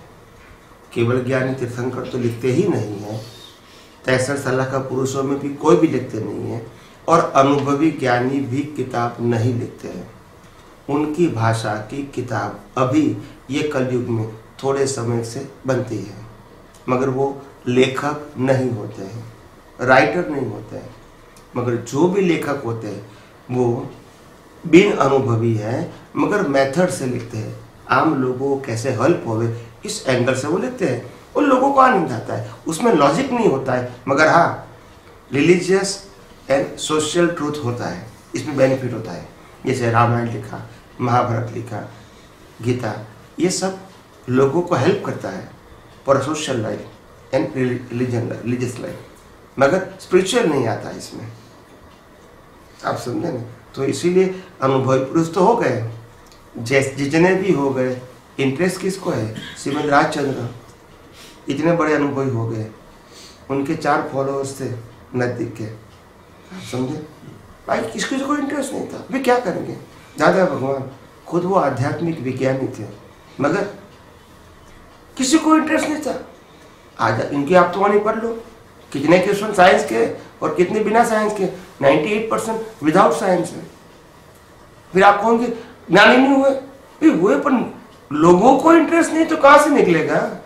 ये किसी व्यक्ति की बात नहीं है, या किसी व्यक्ति के कैपेसिटी की बात नहीं है। ये सरकमटांसिस की बात है। भी कृष्ण भगवान की गीता निकली, राम की नहीं निकली? क्यों नहीं निकली भाई? राम तो मोक्ष में गए। तो संजोग नहीं बने। इनमें कैपेसिटी की बात नहीं है। सवाल ही नहीं है। क्या करोगे? कैपेसिटी की बात नहीं है इसमें। आप देखो शासन किसका किसका चलता है? जैन धर्म के मुताबिक। महावीर का शासन हंड्रेड परसेंट और महावीर के शासन का रक्षा करने वाले कौन होते हैं?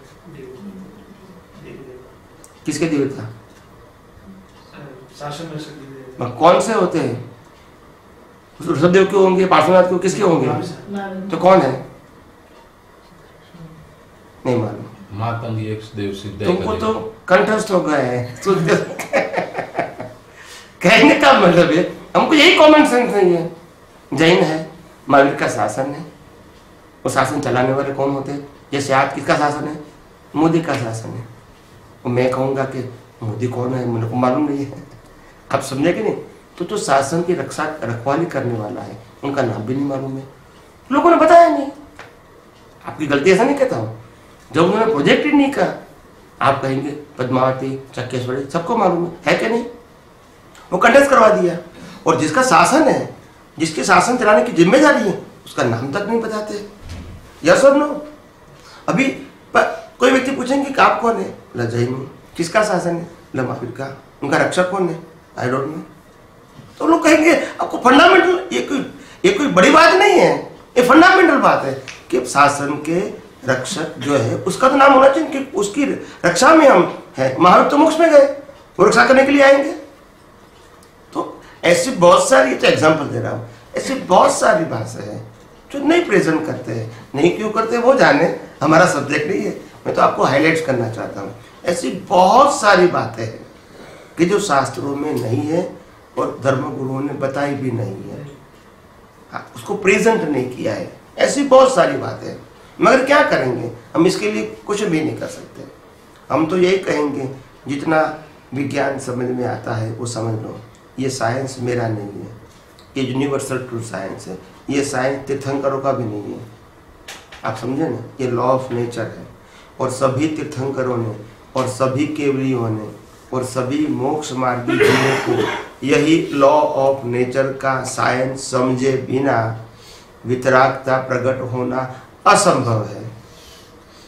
तो फिर भी एक सवाल तो रहता ही है पच्चीस सौ साल पहले महावीर हुए बीच में थोड़े टाइम के लिए किताबें नहीं बनी पर सुन के सुनाते नॉलेज पास ऑन हुआ वो तरीका था पहले। हम्म। और उसमें अगर कहीं पे भी कोई परंपरा टूटी होगी या कहीं पे भी बीच में कोई वीक लिंक आई होगी फिर वापस कहीं पे आप जैसे दादा भगवान जैसे श्रीमद रामचंद्र जैसे ज्ञानी आए होंगे उन्होंने चीज़ों को वापस सेटरेट किया ठीक ठाक किया। तो बार बार ऐसे ये सेटेलाइट होता गया होगा। उसके बावजूद भी अधिकांश जैनों में जिस तरीके से कर्म की थ्योरी को एक्सप्लेन करते हैं, और जैसे आप करते हो उसमें इतना बड़ा फ़र्क क्यों है? वहाँ पे भी इस तरीके की बात आती है, इसी जन्म में आप कर्मों को चार्ज करो और वो के वो कर्म डिस्चार्ज में आ सकते हैं। आप कर्मों को, पिछले जन्म के चार्ज किए हुए कर्मों को पूरा का पूरा ट्रांसफॉर्म कर सकते हो चेंज कर सकते हो, पाप वाले को पुण्य में कन्वर्ट कर सकते हो, इस तरीके की बातें होती है। इतना बड़ा फ़र्क। बार बार बीच में ज्ञानी आते गए। तब भी क्यों? हुआ और वो जो करने वाले लोग हैं वो कोई ऐसा नहीं है कि राजनेता है एक्सप्लोइटेटिव या मैनिपुलेटिव लोग हैं। वो भी सीधे लोग हैं संत लोग हैं ज़िंदगी अपनी पूरी एक साधु जैसे बड़ी तकलीफ़ और कष्ट में गुजारने वाले लोग हैं। और उनमें कहीं तो बहुत आ, आ, आप जैसे ट्रू सेंस में ज्ञानी नहीं पर फिर भी काफ़ी समझदार और ज्ञानी जैसे लगते हैं। तो उनसे ये गड़बड़ी घोटाला कैसे होता है? उसमें उनका अहंकार आता है क्या बीच में आके ये सारा डिस्टोर्ट हो जाता है? आप सॉफ्टवेयर का मैकेनिज्म जानते हो। सॉफ्टवेयर का मैकेनिज्म मैं नहीं कहता हूँ कि आप डिटेल में जानते हैं। सॉफ्टवेयर जो प्रोग्राम्स होता है उसमें अगर चार शब्द कुछ गलत कोड लगा दिए फिर इसमें दस हज़ार प्रकार के आप डेटा भेजोगे रिज़ल्ट कैसा आएगा? ठीक है? इसमें बेचने वाले की गलती है? मशीन की गलती है? किस गलती है?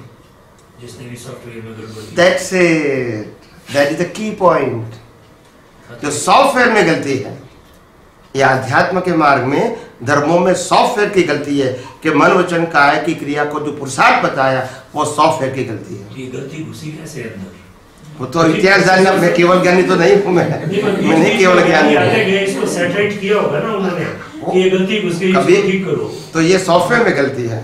अभी तो क्या वो तो मैकेनिकली बोलेगा। आप कहेंगे उपवास करूँगे। तो इतना पुण्य होगा। आप ये करूँगे इतना पुण्य होगा।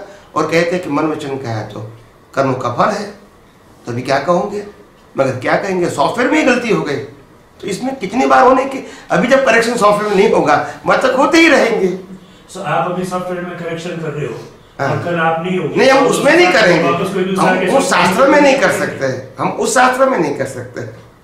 वो तो उ, उनका पावर है ना मैं गीता राम और वेदांत आगम की बात करूँगा मेरा कंट्रोल नहीं है। मैं अपने आप से बात कर सकता हूँ अपने अनुभव से। उसमें मेरे को कोई रोक नहीं सकता है। आप समझे? और जिसको समझना है हो सकती है ना किसी को करना है तो हम क्या करेंगे? कोई नहीं रोक सकता। कोई भी सॉफ्टवेयर लंबे समय तक नहीं चलता इसका यही मतलब है। नहीं सॉफ्टवेयर की बात छोड़ दो। ये कलयुग में सॉफ्टवेयर लैसे चलेगा भी नहीं लंबा। सॉफ्टवेयर नहीं चलेगा। लोग चेंज कर देंगे। फॉरवर्ड चेंज कर देंगे। सच्ची बोलता हूँ मैं। आपको ये मालूम होगा होना चाहिए भारतवर्ष के अंदर महावीर के समय तक महावीर के समय तक उसके बाद भी हज़ार साल तक कोई भी जैन साधु ने मंदिर बनाने की प्रेरणा नहीं दिया था। ये आपको इतिहास मालूम होना चाहिए। आप मालूम है? कोई भी कोई भी मंदिर या संस्था बनाने की प्रेरणा साधु को वर्ज है। ये आगम में भी लिखा है मेरी बात नहीं है। और आज साधु क्या कहते हैं? मेरे नाम से पचास संस्था चलती है। मैंने पचास मंदिर बनाए हैं। और आप इसको कहते हैं is a great man is a big man I right और रॉन्ग तो क्या है? ये सॉफ्टवेयर गलत नहीं है? वो बोलते भी है, आप मानते भी है। गलती क्या है? सॉफ्टवेयर में। अगर सही होता तो आप नहीं कहते। आप क्या इसमें मान कहते हैं? ये तो आप तो गलती कर रहे हैं। मगर सॉफ्टवेयर ही गलत है। तो वो भी कहेंगे, आपको सुनना भी पड़ेगा हाजिया भी करना पड़ेगा। और माहौल भी यही है। दैट्स इट अभी क्या करोगे?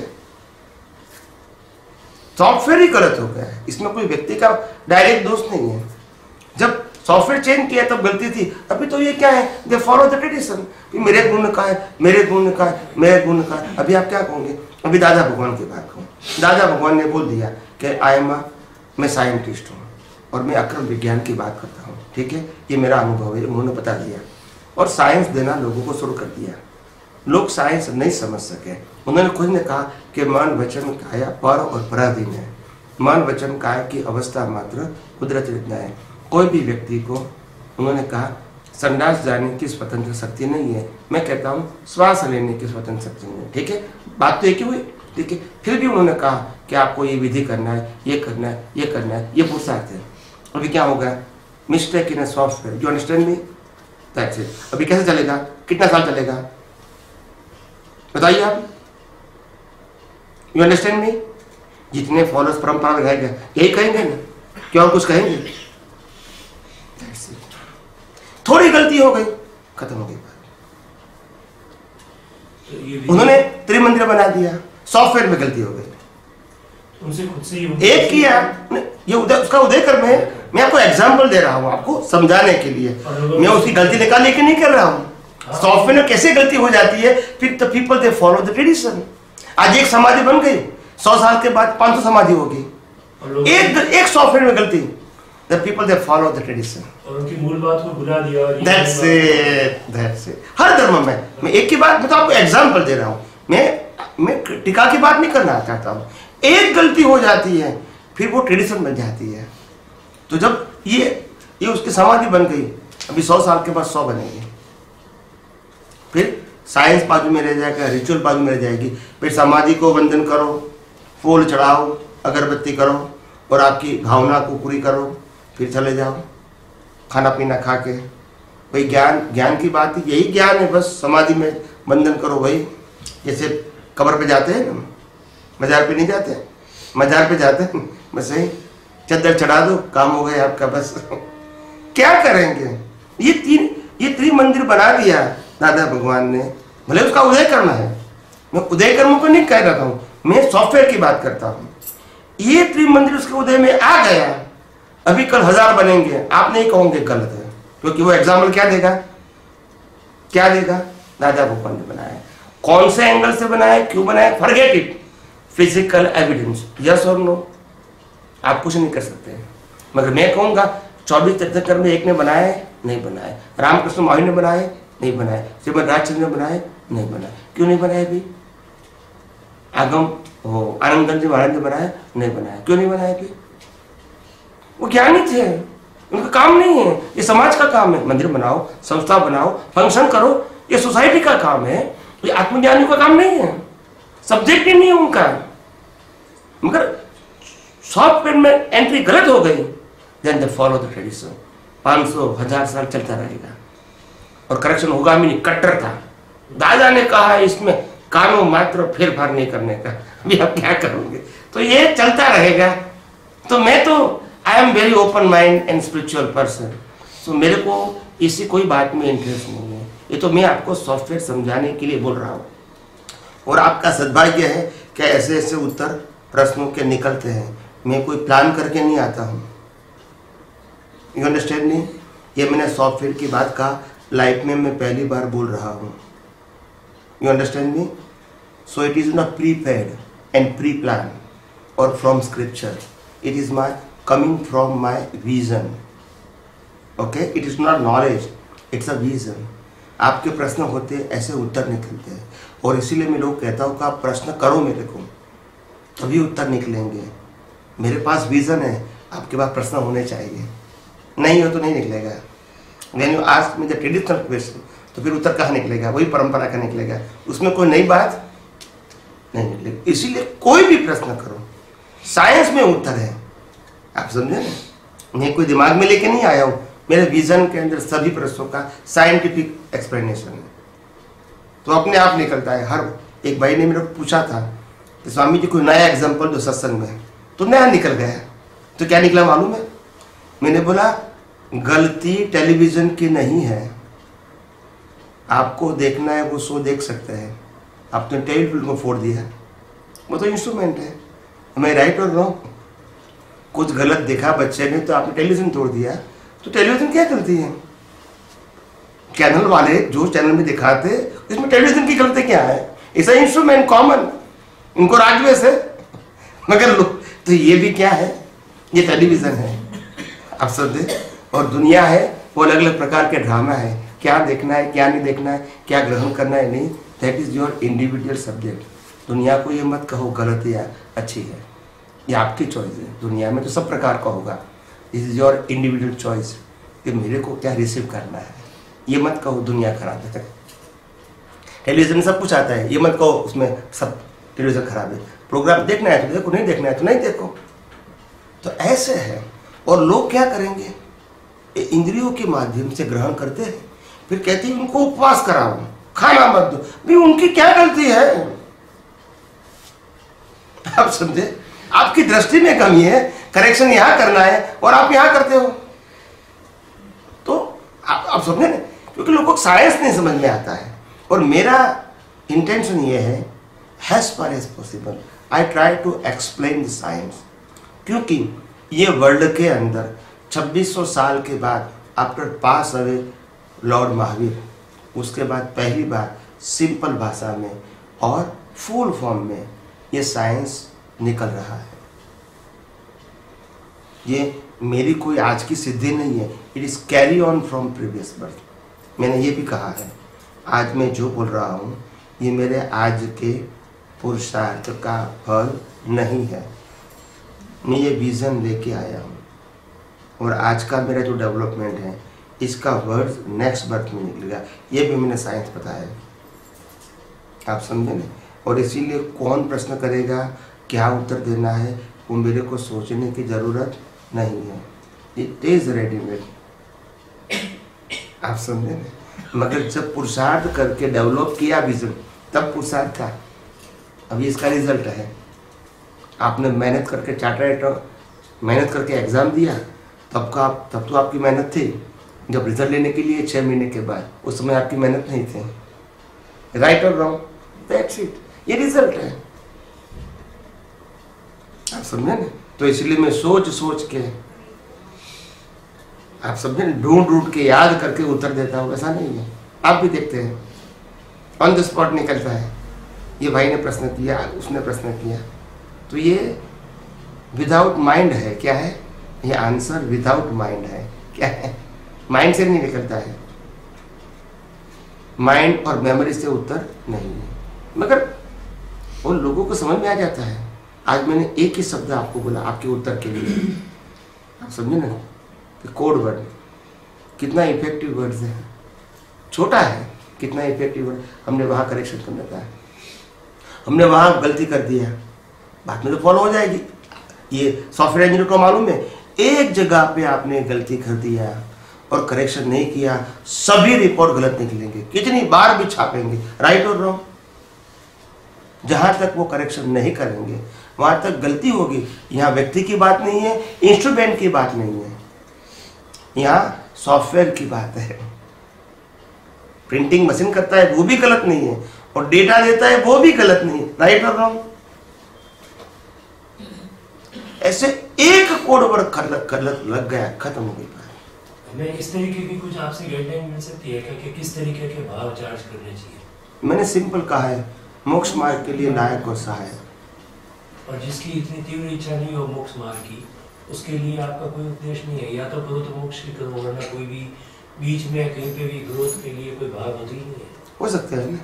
अच्छा इंसान बनो अच्छा इंसान। विथ बेस ह्यूमैनिटी बन सकते हैं इसमें क्या है? इन दो के बीच में बहुत बड़ा गैप लगता है। एक अच्छे ह्यूमन और मोक्ष इसके बीच में बहुत बड़ा। तो हम कहीं बीच में अगर आप हमारे जैसों नहीं, आपको कहाँ करना है वैसा भाव बताओ आपको कहाँ जाना है? आपने कहा मुफ़्त नहीं जाना है? ये बता है। इतना छोटा लगता है तो ये बड़ा लगता है ये छोटा लगता है। हाँ। इसके बीच में अगर आप तो वो जिसको जो अप्रोप्रिएट लेवल है उसके हिसाब से वो गाइडेंस लेके वहाँ बैठ के मैं तो ये कहूँगा कि धर्म के अंदर आज आपको अगर ग्रेट बनना है तो रियल सेंस में ग्रेट नहीं बन सकते हैं। Because totally confuse all religion are confuse इसमें आप ग्रेट नहीं बन सकते मानव धर्म में आप ग्रेट बन सकते हैं because connected with the humanity it is not concern with the caste and religion okay humanity is common for all और दूसरा करना है तो अध्यात्म के मार्ग में ऐसा साइंटिस्ट मिले तो आगे बढ़ सकते हैं। बाकी धर्म सभी रिलीजन जो है अभी आज वो क्या हो गए इसको क्या बोलते हैं इसको? हम्म? जग कहे अपसेट कहो या क्या कहेंगे? दादा भगवान ने अपसेट कहा है और सभी धर्म कॉमर्शियल हो गए हैं और सभी धर्मों का धर्मगुरुओं का जो एंगल है वो टोटली कॉमर्शियल हो गया है। हम कंपेयर करोगे ना तो आप लोग दोनों इक्वल ही है। दोनों इक्वल लगता है। Business and religion both look like fundamentally equal दोनों इक्वल लगेंगे। इसको जनरलाइज नहीं कर सकते हैं। आज भी बहुत ऐसे हैं जिनका धर्म में कमर्शियलाइजेशन तो बिल्कुल भी नहीं है। शायद उनके पास ज्ञान पूरा नहीं है, उनके पास विजन भी एकदम करेक्ट नहीं है। और बहुत साधना करते हैं बड़ा ही डिफ़िकल्ट जीवन जीते हैं। पैसा लेना है, नाम कमाना है शिष्य बनाना है वैसा उनके उद्देश्य में कहीं पे भी नहीं है। उनके उद्देश्य में मुझे मुक्ति मिले इस तरीके का मार्ग एग्जैक्टली सही नहीं होगा। और इस तरीके के भी है पर उनके पास से भी जैसा आप देते हैं उस हिसाब का कहीं कोई ज्ञान मिलता नहीं है कि हो सकता है कहीं कहीं कहीं साधु या सन्यासी सरल हो सकते हैं नीतिवान हो सकते हैं चारित्रवान हो सकते हैं। मैं मना नहीं करता हूँ। I am talking about the average people average धर्मगुरु होते हैं उनकी। वो सभी हंड्रेड परसेंट गलत है ऐसा तो नहीं है। नॉट नॉट पॉसिबल ये हिंदुस्तान है। अच्छे ह्यूमन तो हम बन गए और मोक्ष की हमारी तीव्र इच्छा नहीं है। बीज का कुछ बताइए ना उसके लिए कुछ। धर्म के अंदर तो अभी मेरे को नहीं लगता है कि आप धर्म के मार्ग में कुछ ग्रेट कर सकते हैं। सब डिस्टर्ब है। हमारी अगले जन्म आने वाले जन्मों में मोक्ष में जाने की इच्छा तीव्र हो उसके लिए भी क्या किया जा सकता अच्छे इंसान बनोगे तो होगे। अच्छा उससे बनती है हंड्रेड परसेंट। अभी अच्छे धर्मगुरु बनेंगे तो नहीं होगे। लेकिन अच्छे इंसान के बाद भी मैं आत्मा हूँ मैं शरीर नहीं हूँ ये इस तरीके की सोच तो अच्छे इंसान को आना ज़रूरी है नहीं। ये आपको ज़रूरत नहीं है क्योंकि आपके पास इनबिल्ट है। मैं मेरे बेटे की बात करता हूँ उसको आत्मा और शरीर फिर भी उनके पास उनके हिंदुस्तान के कोई भी नागरिक के पास majority the I am talking about the Hindu they believe in Hindu philosophy उनके पास मैं आत्मा हूँ कर्म का सिद्धांत और पुनर्जन्म। ये तीन बातों को वो फंडामेंटली बिलीव करते हैं एक्सप्लेन नहीं कर सकते। दैट्स इट बिलीव करते हैं एक्सप्लेन नहीं करते पर इसके ऊपर उनका फोकस नहीं है। फिर भी। अच्छे ह्यूमन बीइंग है और इससे उनकी इस क्षेत्र में प्रोग्रेस कैसे होगी? इसीलिए मैं कहा अच्छे ह्यूमन होंगे तो प्रोग्रेस होगी। अच्छे ह्यूमन का मतलब ही होता है उनकी नीयत अच्छी होगी। तो उसको कोई ना कोई कनेक्शन मिल जाएगा। मार्ग मार्ग दिखाने वाला है। हम्म? डॉर्मेंट स्टेज में तो है ना वो? ना वही मैं कहता हूँ और इसीलिए मैच्योर तो है मगर दिशा मिलेगी तो प्रगति करना आसान है। कई बार ऐसा होता है जो व्यक्ति कोई धर्म के अंदर जुड़ा हुआ नहीं होता है मतलब उसका मतलब ये नहीं कि वो अधर्मी है। आप समझे ना? उनका अप्रोच धर्म की क्रियाकांड को छोड़ के, साधु संतों को पीछे घूमने का छोड़ के, कोई ऐसा काम करे जो इंसान को डायरेक्टली हेल्प होवे। तो ऐसा व्यक्ति भी आगे जाके आगे आ सकता है।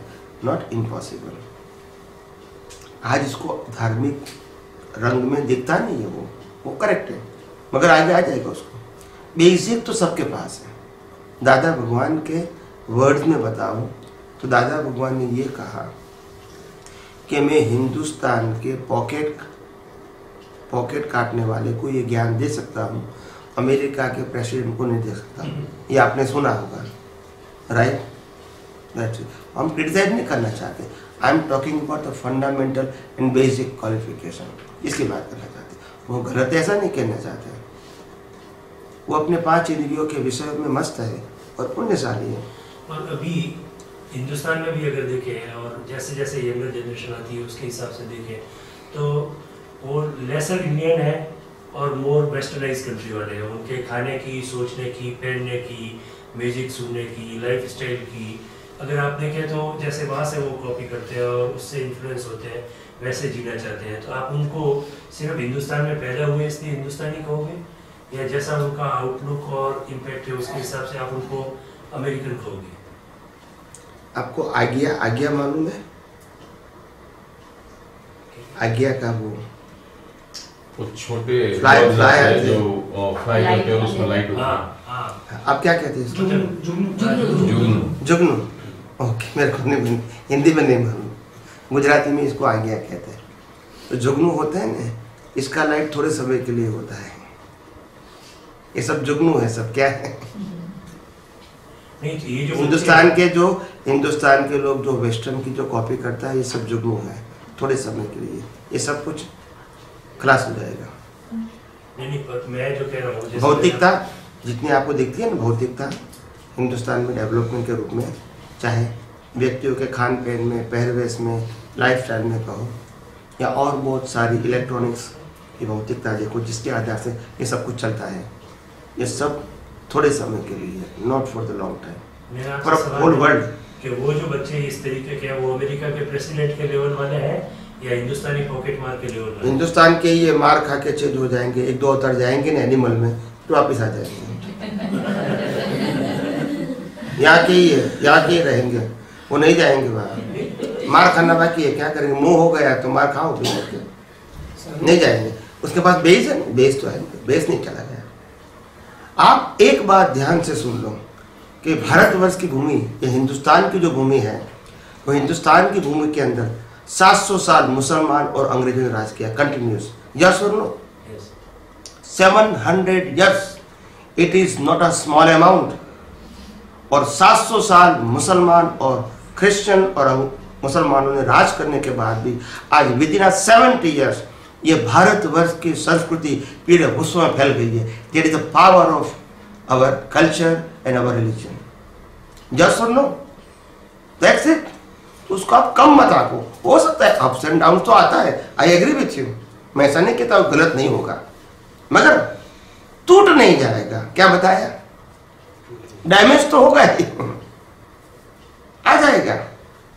आप सीरियस नोट पे पूछता हूँ, वाकई हिंदुस्तान में पैदा होना, या हिंदू धर्म में, जैन धर्म में, बौद्ध धर्म में हिंदुस्तान की धरती पे पैदा होता वाकई इतना बड़ा सौभाग्य का कारण है, या इसमें भी कई बार, जैसे आज का पर्टिकुलर युग है, उसके हिसाब से शारीरिक सुख सुविधाएँ हासिल करने के लिए वेस्टर्न कंट्री का जीव आके इधर पैदा हो गया, उसका वाकई इतना डेवलपमेंट नहीं हुआ तो भी यहाँ पे पैदा हो गया, क्योंकि धर्म का अभाव भी बहुत सारे घरों में दिखता है। तो उसको ट्रू सेंस में हिंदुस्तानी कहेंगे या वो अमेरिकन प्रेसिडेंट के लेवल पे ही देखना चाहिए उस चीज़ को फॉरेनर्स यहाँ आता है तो उसकी मैच्योरिटी के आधार से आता है। ऐसा जन्म नहीं होता है। It is not decision it is a maturity अकेला डिसीज़न काम नहीं लगता है। मैच्योरिटी मैंने कहा ना हर बात में मैच्योरिटी चाहिए। मैच्योरिटी नहीं होगी तो नहीं होगी। और इसीलिए विदेश में भी यहाँ से चले जाएँगे लोग। ऐसा नहीं कि नहीं चले जाएँगे। जाएँगे। वहाँ भी पैदा होंगे, अपने बच्चे पैदा पैदा वहाँ होते हैं ना अमेरिका में भी, इंडियन माँ बाप के। तो वो हो गए, मगर रूट नहीं जाएगा। आप समझे ना? तो इसीलिए वो तो होता रहेगा। Development is a different thing and country में रहना वो एक अलग बात है। अमेरिकन लोग यहाँ रहेंगे तो इंडियन नहीं हो जाएँगे। और इंडियन लोग अमेरिका में रहेंगे तो अमेरिकन नहीं हो जाएँगे। बाहर से लुकआउट थोड़ा लगेगा ऐसा। रूट नहीं जाएगा। Route is a different thing and बाहर की activity is a different thing आप समझे ना? आप जैन हैं बड़े बड़े फ़ंक्शन में जाओगे चार्टर अकाउंटेंट के बड़े बड़े नेशनल और इंटरनेशनल लेवल पे एग्जांपल देता हूँ और वहाँ सब खाना, पीना सब कुछ होता है। आप समझे ना? तो उसमें आप जाओगे तो भी आपको रहेगा कि नहीं, मेरे को ये तो नहीं करना है। बोले, लोग खाते खाने तो। किसी को रोकने की, टोकने की ज़रूरत नहीं है। मगर हमको ज़रूरत क्या है? और सारा बहुत सारा ऑप्शन है। तो ये अपने आप कल्चर बताती है। आप समझे ना? हो सकते है कोई व्यक्ति इसमें बिल्कुल जाती है। उसको मालूम हो जाता है कि सही तो नहीं हुआ। आप समझे? ना तो ये कल्चर है तो काम तो करेगा ना और डेवलपमेंट है। ऐसा नहीं कि मैं एक मैं भी एग्ज़ाम्पल दे रहा हूँ। हम्म, बोलिए। धर्म तो ये नहीं हुआ है ना। ठीक मार का हिंदुस्तान में आ गया। क्या? मेरा जन्म यहाँ नहीं हुआ है ना। ठीक है? ठीक मार खा के हिंदुस्तान में आ गया। ये जन्मे अफ्रीका में। अफ्रीका में जन्मे हैं। ही। और यूरोप के यूके लंदन के सिटीजन है यूके के। और रहते हैं पूरी साल। उनकी फैमिली बाहर है। उनको नहीं पसंद है। वो मेरे साथ ही रहते हैं। Citizen of UK born in Africa तो ये सबका अपना अपना क्या करेंगे? तो सिर्फ़ एग्ज़ाम्पल है। तो ये, ये सब कुछ हो सकता है। सब कुछ हो सकता है। मगर मैं ये कहूँगा, इसको कहते हैं डीएनए क्या बोलते हैं? अभी की भाषा में। डीएनए चेंज नहीं होगा। जो डेवलप हो चुका है वापस नहीं आ सकता है। अप से डाउन नरगति में भी जा सकता है। रासायनिक नहीं जा सकता है। DNA is a different thing और कर्म का फल इज़ डिफरेंट थिंग वो तो कहीं भी तीर्थंकर को भी जाना पड़ता है। उसका डीएनए चेंज नहीं होगा। वो एक सब्जेक्ट अलग है। तो हर बातों को साइंस से समझोगे तभी समझ में आएगा। ये किताबों से समझोगे तो साइंस नहीं समझ में आएगा स्टोरी समझ में आएगी। तो ये, ये डिफरेंट विजन है। So, कोई जाति के प्रति डिसरेस्पेक्ट या वैसी वाली बात नहीं है मेरी समझ के समझ ठीक से बात को समझने के लिए आपसे पूछ। रहा हूँ जैसे आपने कहा कि हिंदुस्तान में पैदा हुआ जो हिंदू कल्चर में पैदा हुआ जो आत्मवादी धर्मों में पैदा हुआ और उसमें भी कई कुल होते हैं या कई जातियाँ होती है जिनमें ये वाली कॉन्शियसनेस चेतना ज़्यादा होती है ब्राह्मण कुल में हुआ या प्रैक्टिसिंग जैन के घर में हुआ। तो नॉट नेसेसरी बट फिर भी एक सिम्टम के तौर पे ऐसा एजम्पशन ले सकते हैं क्या उस सोल का डेवलपमेंट काफ़ी हुआ हुआ सोल का डेवलप सोल का डेवलपमेंट सोल का डेवलपमेंट होता ही नहीं है। डेवलपमेंट अलग चीज़ होती है। Development is to destroy your ignorance from you that's it it should be called development it is not concern with the soul soul तो सोल ही। है उसमें डेवलपमेंट कम ज़्यादा नहीं होता है। अज्ञानता बढ़ती है अज्ञानता कम होती है वो हमारा डेवलपमेंट है। अज्ञानता खत्म होती है वो हमारा केवल दर्शन है। दैट्स इट उसमें आत्मा से कोई कंसर्न नहीं है। है कोई कोई बात नहीं। नहीं नहीं कोई बात नहीं वो तो। और उसका मैच्योरिटी का लेवल हाई है डेवलपमेंट का लेवल हाई है वैसा मान सकते हैं? किसका लेवल है? जैसे आपने बोला वो जो भी जीव का जो हिंदुस्तान में पैदा हुआ उसका डेवलपमेंट का लेवल हाई है हम्म। ऐसा आपने कहा। हम्म, तो? अभी कोई ब्राह्मण कुल में पैदा हुआ या कोई प्रैक्टिसिंग जैन के घर में पैदा हुआ तो उसका डेवलपमेंट का लेवल और भी हाई है वैसा मान सकते हाँ। हैं। ये तो अपने जो गोत्र मिलता है ना वो डेवलपमेंट क्या था गोत्र और कर्म दोनों अलग चीज़ है। गोत्र वो डेवलपमेंट है कर्म वो अलग चीज़ है। मारामारी भी करेंगे जैन भी करेंगे मारामारी। कम करेंगे मगर करेंगे कोई ना कोई। एक्सेप्ट कर सकते ब्राह्मण भी कर सकते हैं। मीट भी खाते हैं जैन भी खाते हैं। एक्सेप्ट नहीं। रूट नहीं जाता है। रूट नहीं जाएगा। तो डेवलपमेंट भी हो गया और मीट भी खाते हैं। तो ये आप कहते हो कि डीएनए चेंज नहीं होता है। मतलब यहाँ पे वो नेचर के सॉफ्टवेयर में गड़बड़ नहीं होगी क्या? There is a true difference between DNA and cause and effect. तो ब्राह्मण बना और मीट खाता है मतलब खा सकते हैं। क्यों नहीं खाएँगे? पार्श्वनाथ की शादी थी। क्या हुआ था? शादी में क्या पकाया था? क्यों वैराग्य हुआ? मीट तो पका था। नहीं समझ में आया। तो डेवलपमेंट का और मीट खाने नहीं खाने का कोई चीज़ है cause and effect is a different thing and development is a different thing वो था। कुछ चीज़ें तो साथ में जाती होगी ना डेवलपमेंट में। डेवलपमेंट जिसका होता है वो धीमे धीमे अहिंसक नहीं बनता जाता है। मैंने आपको बहुत सारे एग्ज़ाम्पल दिए हैं कि 24 तीर्थंकर में तीन तीर्थंकर चक्रवर्ती रूप में पैदा हुए थे और कौन लोगों की हिंसा लास्ट वर्ष में किया था। वो दिया था ना एग्ज़ाम्पल नहीं जैसे जनरल रूल आपने दिया कि हिंदुस्तान में पैदा होता है वो डेवलप होता है। तो हिंदुस्तान में ही थे ना वो? वो मैंने कहा नहीं है साइंस के पीछे साइंस के आगे कुछ नहीं होगा। आध्यात्म विज्ञान के आगे। ये इतना परफेक्ट साइंस कुदरती निकला है पुण्यशाली लोगों के लिए जिसको समझना है। ये डिक्शनरी है। इसमें सब उत्तर है। जिसको समझना है इसके लिए। और ये डिक्शनरी ऐसी है जिसका कोई ओनर नहीं है। हम लोग क्रिएटर नहीं है। Only the present is experience only आप समझे कोई मालिक नहीं है इसका। कोई बनाने वाला नहीं है। वो तो है। जो है, इसको दृष्टि से शेयर करते हैं। क्या करते हैं? उसका क्रिएशन नहीं है। प्रेजेंटेशन मेरा है। प्रिंसिपल मेरा नहीं है। It's a universal truth Swami ji yes yes अभी उन्होंने बोला कि मोक्ष जाने के लिए वितराग होना ज़रूरी है। ठीक है वो एक्सेप्टेबल होता है। बट फिर हम बोलते हैं कि जब मोक्ष जाते हैं सिद्ध क्षेत्र जो बोलते हैं वहाँ पे अनंत सुख है। और वहाँ का एक बूंद भी अगर पृथ्वी पे गिर जाए तो बहुत सारा सुख हो जाए। तो फिर ये समझ में नहीं आता कि सुख पाने के लिए वितराग होना ज़रूरी है? ऐसे क्यों बोलते हैं? ना कि सुख पाने के लिए सुखी होना ज़रूरी है। वो मैच नहीं हो। गया वो? ये दुनिया के अंदर जो होल यूनिवर्स है, जिसको जैन समाज में चौदह राज लोग बोलते हैं, और हिंदू इसको तीन लोग बोलते हैं। क्या बोलते हैं? चौदह राज लोग कहो या तीन लोग कहो? इसके अंदर सुख जैसी चीज़ ही नहीं है, वो वितराग कहते हैं। वितराग क्या कहते हैं? सुख भी नहीं है और दुख भी नहीं है। सिर्फ़ सुख दुख तो बिलीफ है। सिर्फ़ बंधन है because of your cause you have to suffer effect there is no choice but सुख दुख हमारी बिलीफ है। मैंने कहा ना अगर कोई भिखारी को मैं पाँच रुपया दूँगा तो वो खुश हो जाएगा। और कोई बी एमडब्ल्यू में से नीचे उतरेगा उनको पाँच रुपया दूँगा तो इंसान लगेगा। बिकॉज़ ऑफ़ इसमें कोई अमाउंट की या देने की भावना की बात ही नहीं है। बिलीव आप समझे?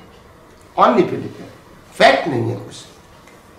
तो उसमें स्वामी जी टाइम क्या है?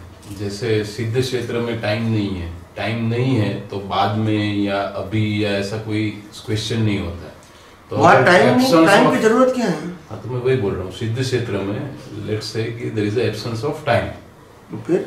फिर तो फिर उसका मतलब ये हो गया कि लेट्स से कोई पार्श्वनाथ है वो पहले सिद्ध क्षेत्र में गए या महावीर स्वामी बाद में गए या फिर कोई और तीर्थंकर या कोई केवली बाद में गया या पहले गया वो बाद में या पहले ऐसा कोई मेज़रमेंट ही नहीं होता है। वहाँ तो नहीं होगा ना। हाँ। तो वहाँ पे एबसेंट है तो ऐसा हो सकता है कि शायद दस लाख के बाद अगर कोई और यहाँ से जो अभी बैठा है उसमें से गया तो उसका भी वो बाद में गया या पहले गया ऐसा कोई क्वेश्चन ही नहीं होता है। नहीं होगा ना। Right. यू कैनॉट तो उसके हिसाब से अगर दूसरे एंगल से सोचे तो हर जीव ऑलरेडी सिद्ध क्षेत्र में है ही अगर एब्सेंस ऑफ़ टाइम है तो। बोल सकते हैं। राइट वो, वो अगर उस एल्गोरिदम को आप मैच करते हो तो अब जो है वो सिद्ध क्षेत्र में ही है। तो अभी जो ये टाइम चल रहा है जहाँ पे हम ये डिस्कस कर रहे हैं या जो भी है तो वो किस हिसाब से मेजर होता है? मेजर मतलब? मेजर मतलब अगर एक एंगल से अगर वहाँ पे एब्सेंस ऑफ़ टाइम है तो हर कोई सिद्ध क्षेत्र में ही है। मतलब अभी जो बात कर रहे हैं वो क्या और एब्सेंस ऑफ़ टाइम यहाँ के लिए है और यहाँ का जो टाइम फैक्टर है वो आपकी अज्ञानता के ऊपर डिपेंड है फिक्स नहीं है एब्सेंस ऑफ़ टाइम का मतलब ये नहीं कि फिक्स है आप समझे ना लॉजिकली आपने जो एक्सप्लेन किया वो सही है मगर टाइम कोई फिक्स है टाइम रिलेटिव फैक्टर हो गया यहाँ पे अगर लेट से एक मैं यहाँ की तो तो बात कहीं करता हूँ। और वो एक साल भी हो सकता है एक मैं यहाँ- भी हो सकता है। मैं यहाँ के हिसाब से तो बात करता हूँ। मैं वही कहता हूँ। आपका जन्म नेक्स्ट बर्थ तो होने वाला है। फिर आप कहोगे कि भाई ये दुख दुख मेरे को ये दुख नहीं रहना है क्योंकि नेक्स्ट बर्थ में तो नहीं होगा। मगर आज जो सफरिंग वो तो है उसमें हम कैसे मना कर सकते हैं? वो टाइम ऐसा भी हो गया ना जैसे आपको अगर ड्रीम आ रहा है और उसमें अगर आप पर, परेशान हो रहे हो तो वो आप नींद सिर्फ़ तीन घंटे की ले रहे हो लेकिन वो परेशानी शायद एक साल की भी आप वो तीन घंटे में सफ़र कर रहे वो हो मेंटली है। तो वो एक टाइम फैक्टर हो गया कि भले तीन घंटे आप सोए और जो भी या तो सफरिंग आया। mentally हो गया। हाँ वो मेंटली हो गया। तो वो तीन घंटे की जगह पे वो एक साल का भी सफरिंग आपको तीन घंटे में झेलने को मिल सकता हम्म। है बिकॉज़ ऑफ़ कि वो कितने इंटेंशन है और कितना उसमें टाइम था। राइट उसी हिसाब से टाइम फैक्टर तो वो अज्ञानता है सफरिंग का। मगर जो एक्चुअल सफरिंग है वो फिक्स है। वो टाइम फैक्टर के आधार से नहीं है। मगर जो अज्ञानता का सफरिंग है वो टाइम फैक्टर के ऊपर आधारित है। आप कितना स्ट्रेंथ से भाव करते हैं कितने स्ट्रेंथ से रिज़ल्ट आएगा। अब ये जो भी भाव और रिज़ल्ट है वो टाइम अगर नहीं है तो नहीं आ सकता है। मतलब मतलब टाइम एक ऐसी एलिमेंट है जो आपको चाहिए। हम्म। भाव करने के लिए भी चाहिए और उसका रिज़ल्ट भुगतने के लिए भी चाहिए। अगर एब्सेंट हो गया वो एलिमेंट इटसेल्फ तो ये कुछ होने की ज़रूरत ही नहीं आती है मगर ये छह तत्वों से बना हुआ है दुनिया इसमें ऑप्शन कहाँ होगा? कैसे नहीं दूसरा नहीं वो एबसेंट यहाँ पे नहीं हो सकता है। हाँ। बट दूसरा ये हो गया कि ये जो भी हम बोलते हैं कि अरे इसको दस लाख बहु हो गया इतना चक्र के बाद हो गया इतना समझ गया। रह गया। हाँ। जैसे ये बोल रहे थे कि भाई एक नेचुरल फ्लो में ही कुछ टाइम के बाद वो एज ए नेचर जैसे ग्रोथ होता है वो सिद्ध क्षेत्र तक जाता है। हम्म, हम्म। ऐसे ही अगर सिद्ध क्षेत्र में टाइम नहीं है तो वन और द अदर में हम बोल सकते हैं कि कोई भी है वो सिद्ध क्षेत्र में जीव मात्र शिव क्षेत्र में ही है। हम्म। राइट अभी ये जो टाइम है इट इज़ काइंड ऑफ़ आप बोल सकते हैं कि एक ऐसा परपोटा है। कि जिसके अंदर बहुत सारे टाइम है और इनफाइनाइट टाइम भी आप बोल सकते हो, जो घूमना है घूम सकते हो। बट जैसे ही वो परपोटा फूट जाता है, या तो फिर वो टाइम के बाहर आ जाता है, वो ऑलरेडी वहाँ पे था। तो इन अदर वर्ड्स आप बोल सकते हो कि लेट से अगर मैं सो रहा हूँ और सोने के बीच में अगर मैंने सोते सोते ही अगर लेट से किसी का बर्थ हो गया, शादी हो गई, बच्चे हो गए, ये वो, जो भी है वो सोने के बीच में। वो सोने का टाइम एक सेकंड भी हो सकता है या दस घंटे भी हो सकता है। हम्म। वो डिपेंड्स ऑन कि वो कौन से क्षेत्र में है और कितना टाइम फैक्टर ले रहा है। बट वो जैसे ही उठ जाता है तो ये जो भी उसका था जो भी सफरिंग था वो सब कुछ दैट पॉइंट ही उसका नलीफाई हो जाता है। हम्म, तो आप मतलब क्या कहना क्या मैं कहना ये चाहता हूँ कि ये जो टाइम या अभी ये जो सफरिंग या जो भी हम ये बातें कर रहे हैं वो कितना रिलेटिव टाइम के फैक्टर से जाता है। जैसे हमने महावीर स्वामी का भी पहले एग्ज़ाम्पल लिया।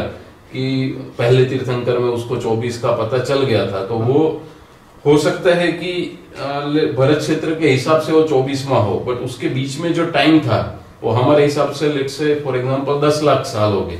बट कई और क्षेत्र में जाते तो शायद दस हज़ार करोड़ भी हो सकते हैं बीच में जन्म लेने के लिए। और कई ऐसे क्षेत्र में गए जैसे महाविद्य क्षेत्र है तो वहाँ पे एक ही जन्म लाखों साल का हो गया। राइट तो ये जो टाइम है वो इतना रिलेटिव है और इतना वेरिएबल है कि वो हो सकता है कि इन अदर वर्ड कहीं और जगह पे वो एक सेकंड का हो और यहाँ पे दस लाख करोड़ साल भी लग जाए और वहाँ पे ना हो। तो मैं ये बोलना चाहता हूँ कि अगर सब लोग सिद्ध क्षेत्र में ही है तो ये जो भी बात कर रहे जो भी है, वो पार्ट ऑफ़ एक एक ड्रामा भी हो सकता है।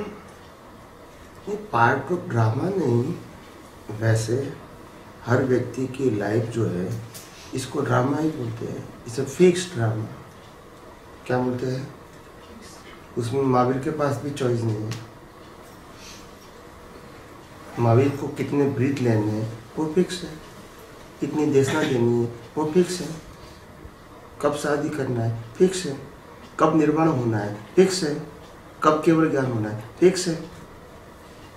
ऐसे ही है जो परपोटा हम तो बोल रहे हैं वो फूट वो तो फूटेगा उसका फिक्स नहीं है क्या? तो कॉज इफ़ेक्ट ऊपर है। जैसे परपोटा जैसे कोई जीव अगर व्यवहार राशि में आया तो उसका बाहर जाना भी फिक्स ही है। हम्म, या वो वहाँ पे ही रहेगा।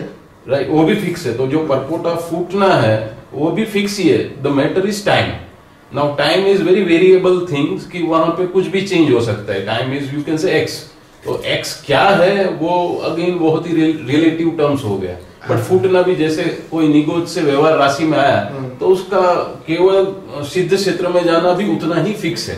कब जाएगा दैट इज़ डिफरेंट थिंग उसके ऊपर हम बात नहीं कर रहे। बट हम जो एक लॉजिक की बात कर रहे हैं वो ऐसा है कि जो व्यवहार राशि में आया वो सिद्ध क्षेत्र में जाएगा। वो सही है कि गलत है? बराबर। है बराबर है राइट उसी एंगल से हम बोल रहे हैं कि सभी शिव जीव है वो सिद्ध क्षेत्र में ऑलरेडी है। तो उसी हिसाब से जैसे बोला था कि भाई नेचुरल वे से ही जाएगा तो मैं भी उसको एग्री करता हूँ कि नेचुरल वे से ही सिद्ध क्षेत्र में जाएगा। कब जाएगा? दैट इज़ डिफरेंट थिंग जो कि, कितना ये करेगा पुरुषार्थ करेगा क्या करेगा कितने टाइम तक करेगा। But time itself is a very variable thing नहीं बात आपकी बराबर है। आपने जो टाइम फैक्टर की बात है। टाइम फैक्टर ये लोक में ही काम करता है। सिद्ध क्षेत्र में नहीं करता है। वहाँ टाइम फैक्टर है ही नहीं। ठीक है? और इसीलिए और यहाँ समय तत्व जो है वो तत्व के रूप में लिया गया है। सिर्फ़ अवस्था में उसका कैलकुलेशन होता है। क्या होता है? अवस्था। मूल समय तत्व में पार्ट नहीं है। भूत भविष्य वर्तमान ऐसा नहीं। टाइम मतलब एक टाइम ही समय ही है। समय हम अवस्था के रूप में देखेंगे तब पार्ट होगा। क्या होगा? समय का वैसे पार्ट नहीं है। आप समझे मैं क्या कहता हूँ? समय के तीन हिस्से नहीं है। वर्तमान। भविष्य और भूतकाल पास्ट ऐसा नहीं है। ये अवस्था के हिसाब से है। टाइम फैक्टर तो परमानेंट है। क्या है? तत्व के रूप में कैसा है? पीसिस नहीं है। परमानेंट है। हुँ? मगर ये लोक में रहते हैं तो हर चीज़ों को टाइम फैक्टर से ही आइडेंटिफाई कर सकते हैं। विदाउट टाइम नहीं कर सकते कुछ भी। आप समझे? व्यवहार भी नहीं चलेगा आपका बिना विदाउट टाइम फैक्टर तो लोक में टाइम फैक्टर इज़ कंपल्सरी अलोक में तो है ही नहीं, क्योंकि लाइफ नहीं हुआ। क्या नहीं है? लाइफ नहीं है। तो टाइम फैक्टर क्या कर्म करेगा? जब सफरिंग नहीं है सरकमटांसिस नहीं है तो टाइम का मतलब क्या है वहाँ? ज़रूरत नहीं है ना? तो आपने जो बताया कि जो लोग व्यवहार राशि में आए, वो तो मोक्ष में जाएँगे। बात सही है हंड्रेड परसेंट सही है, इसमें कोई गलत बात नहीं है। मगर फिर पुरुषार्थ तत्व, जो तीर्थंकर भगवंतों ने भी बताया, प्रारब्ध पुरुषार्थ की बात तीर्थंकर ने भी बताया तो पुरुषार्थ शब्द की ज़रूरत क्या थी फिर? मैं उसको उस एंगल से देखता हूँ, पुरुषार्थ की ज़रूरत नहीं थी, जैसे कोई बच्चा अगर है तो उसको हम बोलते हैं कि तुझे पढ़ाई करनी चाहिए तभी तुझे अच्छा बिज़नेस होगा या फिर तभी तू अच्छे से जॉब कर पाएगा। ओके वो उतना ट्रूथ नहीं है क्योंकि हम हमारे पास बहुत सारे एग्ज़ाम्पल है जो कुछ भी पढ़े लिखे नहीं है फिर भी उसके उधर पचास सी काम करते हैं। वो अलग बात है क्योंकि नहीं रिज़ल्ट मैं है उसी हिसाब से बोल रहा हूँ। इट ये डजेंट तो मीन कि हम तो result ही है। हाँ इट डजेंट मीन कि हम थंब रूल बना दें। कि बाबा जो पढ़ाई करेगा वही एज ए रिलेटिव लाइफ में सक्सेसफुल हो सकता है हम्म। वो रूल नहीं है उसी बराबर। तरह से ऐसा रूल भी हम कैसे बना सकते हैं कि जो पुरुषार्थ करेगा तभी तो आगे जाएगा जैसे एक रूल हमने एक्सेप्ट किया कि जो व्यवहार राशि में आएगा वो सिद्ध क्षेत्र में जाएगा पक्का है और ये नेचर का फ्लो है, है जैसे वाटर को मैं ऊपर से डालता हूँ तो नीचे ही जाएगा क्योंकि गुरुत्वाकर्षण है। उसी हिसाब से एक पूरा फ्लो चल रहा है एज ए नेचर में अगर हम ब्रॉड व्यू में देखते हैं तो कि निगोद से आएगा व्यवहार राशि में जाएगा और सीधे क्षेत्र में जाएगा। अब उसमें जाने के लिए जैसे पहाड़ से पानी गिरता है तो अपने आप पत्थर से टकराएगा नीचे जाएगा। That is a part of flow itself ऐसे ही जो पुरुषार्थ है मैं उसको उस एंगल से देख रहा हूँ कि it is a part of flow itself उसके लिए कुछ अलग से एफर्ट्स करने की ज़रूरत नहीं है, क्योंकि जो व्यवहार राशि में आया है, वो अपने आप सीधे क्षेत्र में जाएगा। जैसे पानी ऊपर से गिर रहा है तो शुरू में फ्री फ्लो करेगा, बाद में कोई पत्थर आएगा तो उससे टकराएगा, फिर उसकी बूंदे अलग अलग तरीके से बिखराएगी। ऐसे ही वो, जैसे आप बोल रहे हो कि निगोद से आएगा, एकेंद्रीय आएगा, पंचेंद्रीय में आएगा, मनुष्य में आएगा, मनुष्य में शायद पहले कहीं और जाएगा, जहाँ पे पुनर्जन्म को बिलीव नहीं करेगा धीरे धीरे वो बिलीव करेगा मार खाएगा। अपने आप पुरुषार्थ करेगा और सीधे सीधे में जाएगा। मैं उसको एज ए जो हम बोल रहे हैं नेचुरल फ्लो देख रहा हूँ, उसके लिए अलग से एफर्ट्स की ज़रूरत नहीं देख रहा हूँ। ये क्या है एफर्ट एफर्ट तो शब्द बनाया गया है। एफर्ट को आप एक्शन के फॉर्म में मत देखो। क्या बताया? आज व्यवहार जगत में एफर्ट को जो एक्शन बोलते हैं, ऐसा एफर्ट नहीं है। आपका विजन जो है, वो चेंज होता है, वो भाव बन जाता है। मार खा के सेट जैसे सालिग्राम बनता है ना ऐसा है। उसमें करेक्शन भी आता है। हाँ बट उसमें पत्थर कुछ नहीं करता है। जो शालिग्राम बनता है हाँ। वो अपने आप फ्लो में ही शालिग्राम बनते जाता है। ऐसे ही जो ये फ्लो में ऐसा है। ऐसा ही यहाँ है। मनुष्य में भी ऐसा ही है। अलग नहीं है। शालिग्राम जैसा ही है। मतलब मैं ये बोलना चाहता हूँ कि जो हम इतना दिमाग में रखते हैं कि अरे नहीं मुझे ये करना ही है करना ही है उतनी सच में ज़रूरत है क्या? जिस बहुत सारे लोग उसमें डिप्रेशन में भी आते हैं। जैसे बहुत सारे सत्संग पढ़ते हैं या बहुत जगह पे ऐसा भी होता है कि अरे कान में डाल के पूरे दिन सत्संग देखते रहते हैं ये करते रहते हैं। वो अपना शालिग्राम होने वाले ही है। उसके लिए अगर पानी को अलग से इधर उधर पत्थर में टकराने की ज़रूरत है वो नीचे जाएगा ही जाएगा। बस ये आपकी गलती हो गई। हर पत्थर को अपनी तरह मुँह होने का राइट है it is not a questionable हर पत्थर को अपनी तरह मुँह होने का राइट है। हर कोई पानी की उनका संजोग है, उनका संजोग है। जो मैंने पानी ऊपर से डाला तो उसमें किसी का राइट सही गया कि नीचे नहीं पड़ेगा वही मैं कहता हूँ कि हर पत्थर की अपनी अपनी सिचुएशन के आधार से फ्रीडम है ना घूमने की कि एक पत्थर का दूसरे पत्थर का कनेक्शन है पत्थर एक एग्ज़ाम्पल हो गया तो जो आपने फिर कौन सा जो, जो आप एग्ज़ाम लेते उसकी मैं बात करता हूँ। एक जीव आप ऐसा बता सकते हो जो व्यवहार राशि में आज तक नहीं गया और ऐसी पढ़ा ही रहा है सालों साल सालों साल हो गए। तीर्थंकरों ने बताया कि अनंत जीव। जो व्यवहार राशि में ही रह गए जो कभी गए नहीं तो फिर। वहाँ पे सिद्ध क्षेत्र में जो टाइम फैक्टर नहीं है उस हिसाब से अगर हम देखते हैं तो सभी शिव सिद्ध क्षेत्र टाइम फैक्टर ज़रूरत क्या है मगर इसलिए वो गया ना। वो टाइम फैक्टर नहीं है हाँ, वहाँ तो नहीं है तो कर्म नहीं है बॉडी नहीं है। अगर- क्षेत्र में तो भी नहीं है। हाँ तो उसका मतलब है कि सभी जीव सिद्ध क्षेत्र में है क्योंकि आज नहीं तो कल सिद्ध क्षेत्र में पहुँचेंगे। वो तो कोई भी और- हाँ। तो नहीं है। ऐसा है? हाँ, आज या कल आज या कल जब टाइम है तब हम आपका टाइम आपका नहीं है तो आपका स्टेटमेंट क्या है कि भाई आज नहीं तो कर मरने वाले तो आज मर गए तो क्या तकलीफ़ है ऐसा मानेंगे तो? अगर मरने तो है ना। मरना तो है। तो क्यों मानता है? तो है। वो रिलेटिव बात हुई। तो कौन सी रिलेटिव बात है? ये रिलेटिव तो बात करते हो। सब तो रिलेटिव बात है। इस मैंने कहा ना आप जिस प्रकार मैं शांति से इसलिए सुन रहा था। ये भाई साहब की बात भी मैं जितनी भी करेंगे मैं कभी बीच में नहीं बोलता हूँ। आपने भी इतनी बार एक्सप्लेन किया कोई प्रश्न नहीं है आपका। फिर भी आपने एक्सप्लेन किया तो मैं शांति से सुन रहा हूँ। मगर जो आपकी बात जो कहने की जो स्टाइल है, उसके अंदर सब रिलेटिव ट्रूथ ही है। और इसीलिए मैं बहुत सारे एग्ज़ाम्पल दूँगा तो हँसी आ जाएँगे फिर। तो इसीलिए ये भगवान ने भी बताया कि सर्व जीव है, सिद्ध सम, जो समझे हो जाएगा। वो उन्होंने बताया। समझने का मतलब क्या हुआ? It's matter of require awareness individually आप समझे?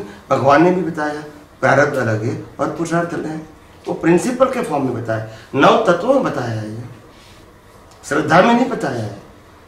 आप समझे ना? कोई रिलेटिव फॉर्म में नहीं बताया किसी व्यक्ति को एग्ज़ाम्पल देने के लिए। ये तत्व के रूप में बताया। प्रारब्ध पुरुषार्थ। आप समझे तो हर बात का एक इम्पोर्टेंट होता है। ये ज़रूर है कि हर व्यक्ति प्रवाह की तरह ट्रेन हो रही है। ऑफकोर्स इसमें कोई गलती नहीं है। हंड्रेड परसेंट राइट है। मगर जैसे जैसे उसको संजोग मिलता है फिर मोड सबका अलग अलग होता है। टीचर एक होता है रिज़ल्ट सबका अलग अलग होता है। ऐसे हर व्यक्ति की इंडिविजुअल लाइफ जैसे रिज़ल्ट के रूप में ऐसे एग्ज़ाम्पल एग्ज़ाम के रूप में फिर रिज़ल्ट के रूप में एग्ज़ाम के रूप में। इसी बात में एक सवाल है स्वामी जी ये बात ठीक से समझ में नहीं आती पहले भी पूछा था आज इन्होंने पूछा तो वापस याद आया ये ये और मैं दोनों व्यवहार राशि में से व्यवहार राशि में एक ही दिन एक टाइम साथ में निकले थे। और उसके बाद एक इंद्री दो इंद्री पाँच इंद्री करते हुए वहाँ पे कुदरत का रोल था। हम दोनों जने साथ में ही आ गए। अफ्रीका में पैदा हुए थे एक ही साथ में। कोई कोई बात नहीं समझ गया। पड़ोस में पड़ोस में। अब वहाँ तक तो हमारा लेवल बराबर ही है। कॉमन है। न इन्होंने कुछ किया न मैंने कुछ किया। अब हम दोनों की वहाँ से जर्नी शुरू होती है। और आज ये और मैं बहुत अलग अलग लेवल पे है ये बहुत लेवल पे मैं बहुत पीछे समझ गया। फिर? ये फ़र्क कहाँ से क्यों पड़ गया किसने डाला? मनुष्य भाव में आने के बाद। मनुष्य में ये भी मनुष्य है मैं भी मनुष्य हाँ Same उसके बाद उसके बाद चेंज हुआ। अभी इन्होंने खाया इनको अच्छा लगा मैंने खाया मैंने अच्छा लगा इन्होंने ये तो- सोचा मैंने ये वही तो व्यू पॉइंट हो गया ना। नहीं तो व्यू पॉइंट इनका और मेरा अलग क्यों हुआ? एक जैसा ही हुआ ना हम दोनों बराबर के लेवल पे हैं तो वहाँ पे अलग होना का काम किसने किया? जब मनुष्य भव के अंदर बुद्धि प्राप्त होती है। एप्लीकेशन सबका अलग अलग है। क्यों अलग अलग क्यों है? इनका भी पीछे का जो ग्रोथ है वो पीछे का ज्ञान है इस जन्म के संयोग है मेरे सब बराबर है। अब वहाँ पे अनुभव और सार निकालने की प्रक्रिया में अलग डिफरेंस आना कहाँ से क्योंकि मनुष्य में आने के बाद ही चार गति शुरू होती है उससे पहले नहीं। वो सब सही है। हम दोनों बराबर सही के लेवल पे गलत कहाँ है? पहले दिन उन्होंने जो सीखा वो पहले क्यों गलत पहले क्यों चार गति नहीं थी। मनुष्य में आने से पहले क्यों चार गति नहीं थी। नहीं, अभी चार गति और हम चारों गति में साथ साथ ही घूम रहे हैं। ऐसा किसने कहा क्यों डिफरेंस हो गया? ऐसा किसने कहा? ऐसा किसने कहा? तो ये ये गैप किस वजह से हुआ? ये गैप किसने किया? इसीलिए वो बुद्धि है ना इसीलिए बुद्धि कहा। इनकी बुद्धि और मेरी बुद्धि अलग क्यों हो गई? हो गया ना? दोनों का संजोग अलग है। संजोग को देखने की दृष्टि अलग है। ये दोनों के संयोग अलग अलग क्यों है? उसके पीछे किसका रोल है? सबका इंडिविजुअली दोष है और किसी का दोष नहीं। सबका इंडिविजुअल दोष है। सामूहिक दोष नहीं है। एक ही संजोग है। एक यहाँ पिक्चर लगाया हुआ है और पिक्चर को दस व्यक्तियों को कहा कि आप एक्सप्लेन करो इन वन सेंटेंस सबका उत्तर अलग लगाता है। क्यों? उनका लेवल अलग है पर हम दोनों आपने बोल दिया फिर ऐसा क्यों कहोगे? पिक्चर एक है व्यक्ति भी एक है प्लेस भी एक है टाइम भी एक है। कोई कोई कोई आपका रीजन तो होना चाहिए कि नहीं? देखने वाली आँखें इक्वल है दृश्य इक्वल है टाइम इक्वल है स्पेस इक्वल है फिर दसों व्यक्तियों का सेंटेंस अलग अलग क्यों होता है? एक ही पिक्चर के ऊपर। अगर दस लोगों का डेवलपमेंट का लेवल सेम है तो बात वही आ नहीं गई होगा। फिर वो बात आ गई कुछ तो आपको आपको उत्तर के डिफरेंस बताना पड़ेगा कि नहीं बताना पड़ेगा? दैट्स इट अभी लास्ट क्वेश्चन आपका कोई प्रश्न था? ये प्रश्न अच्छा अच्छा। ओके ओके मैंने कोई प्रश्न? ओके प्रार्थना बुला देते हैं। हे अंतर्यामी परमात्मा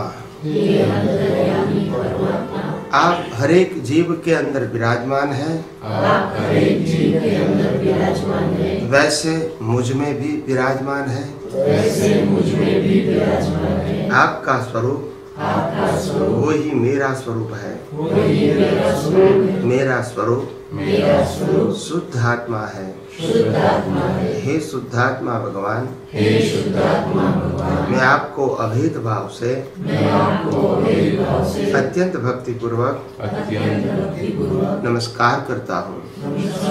अज्ञानता के वश मैंने जो जो दोष किया है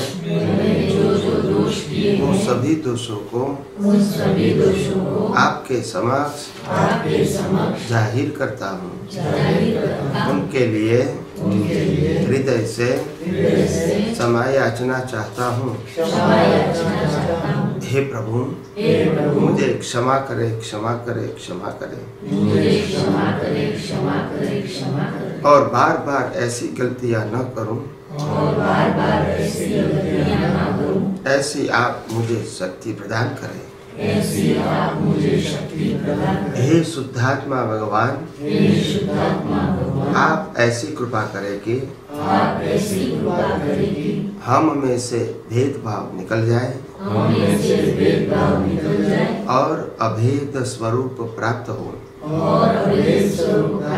आप और हम अभेद भाव से तन्मयाकार रहे। जय सच्चिदानंद। जय सच्चिदानंद। जय सच्चिदानंद।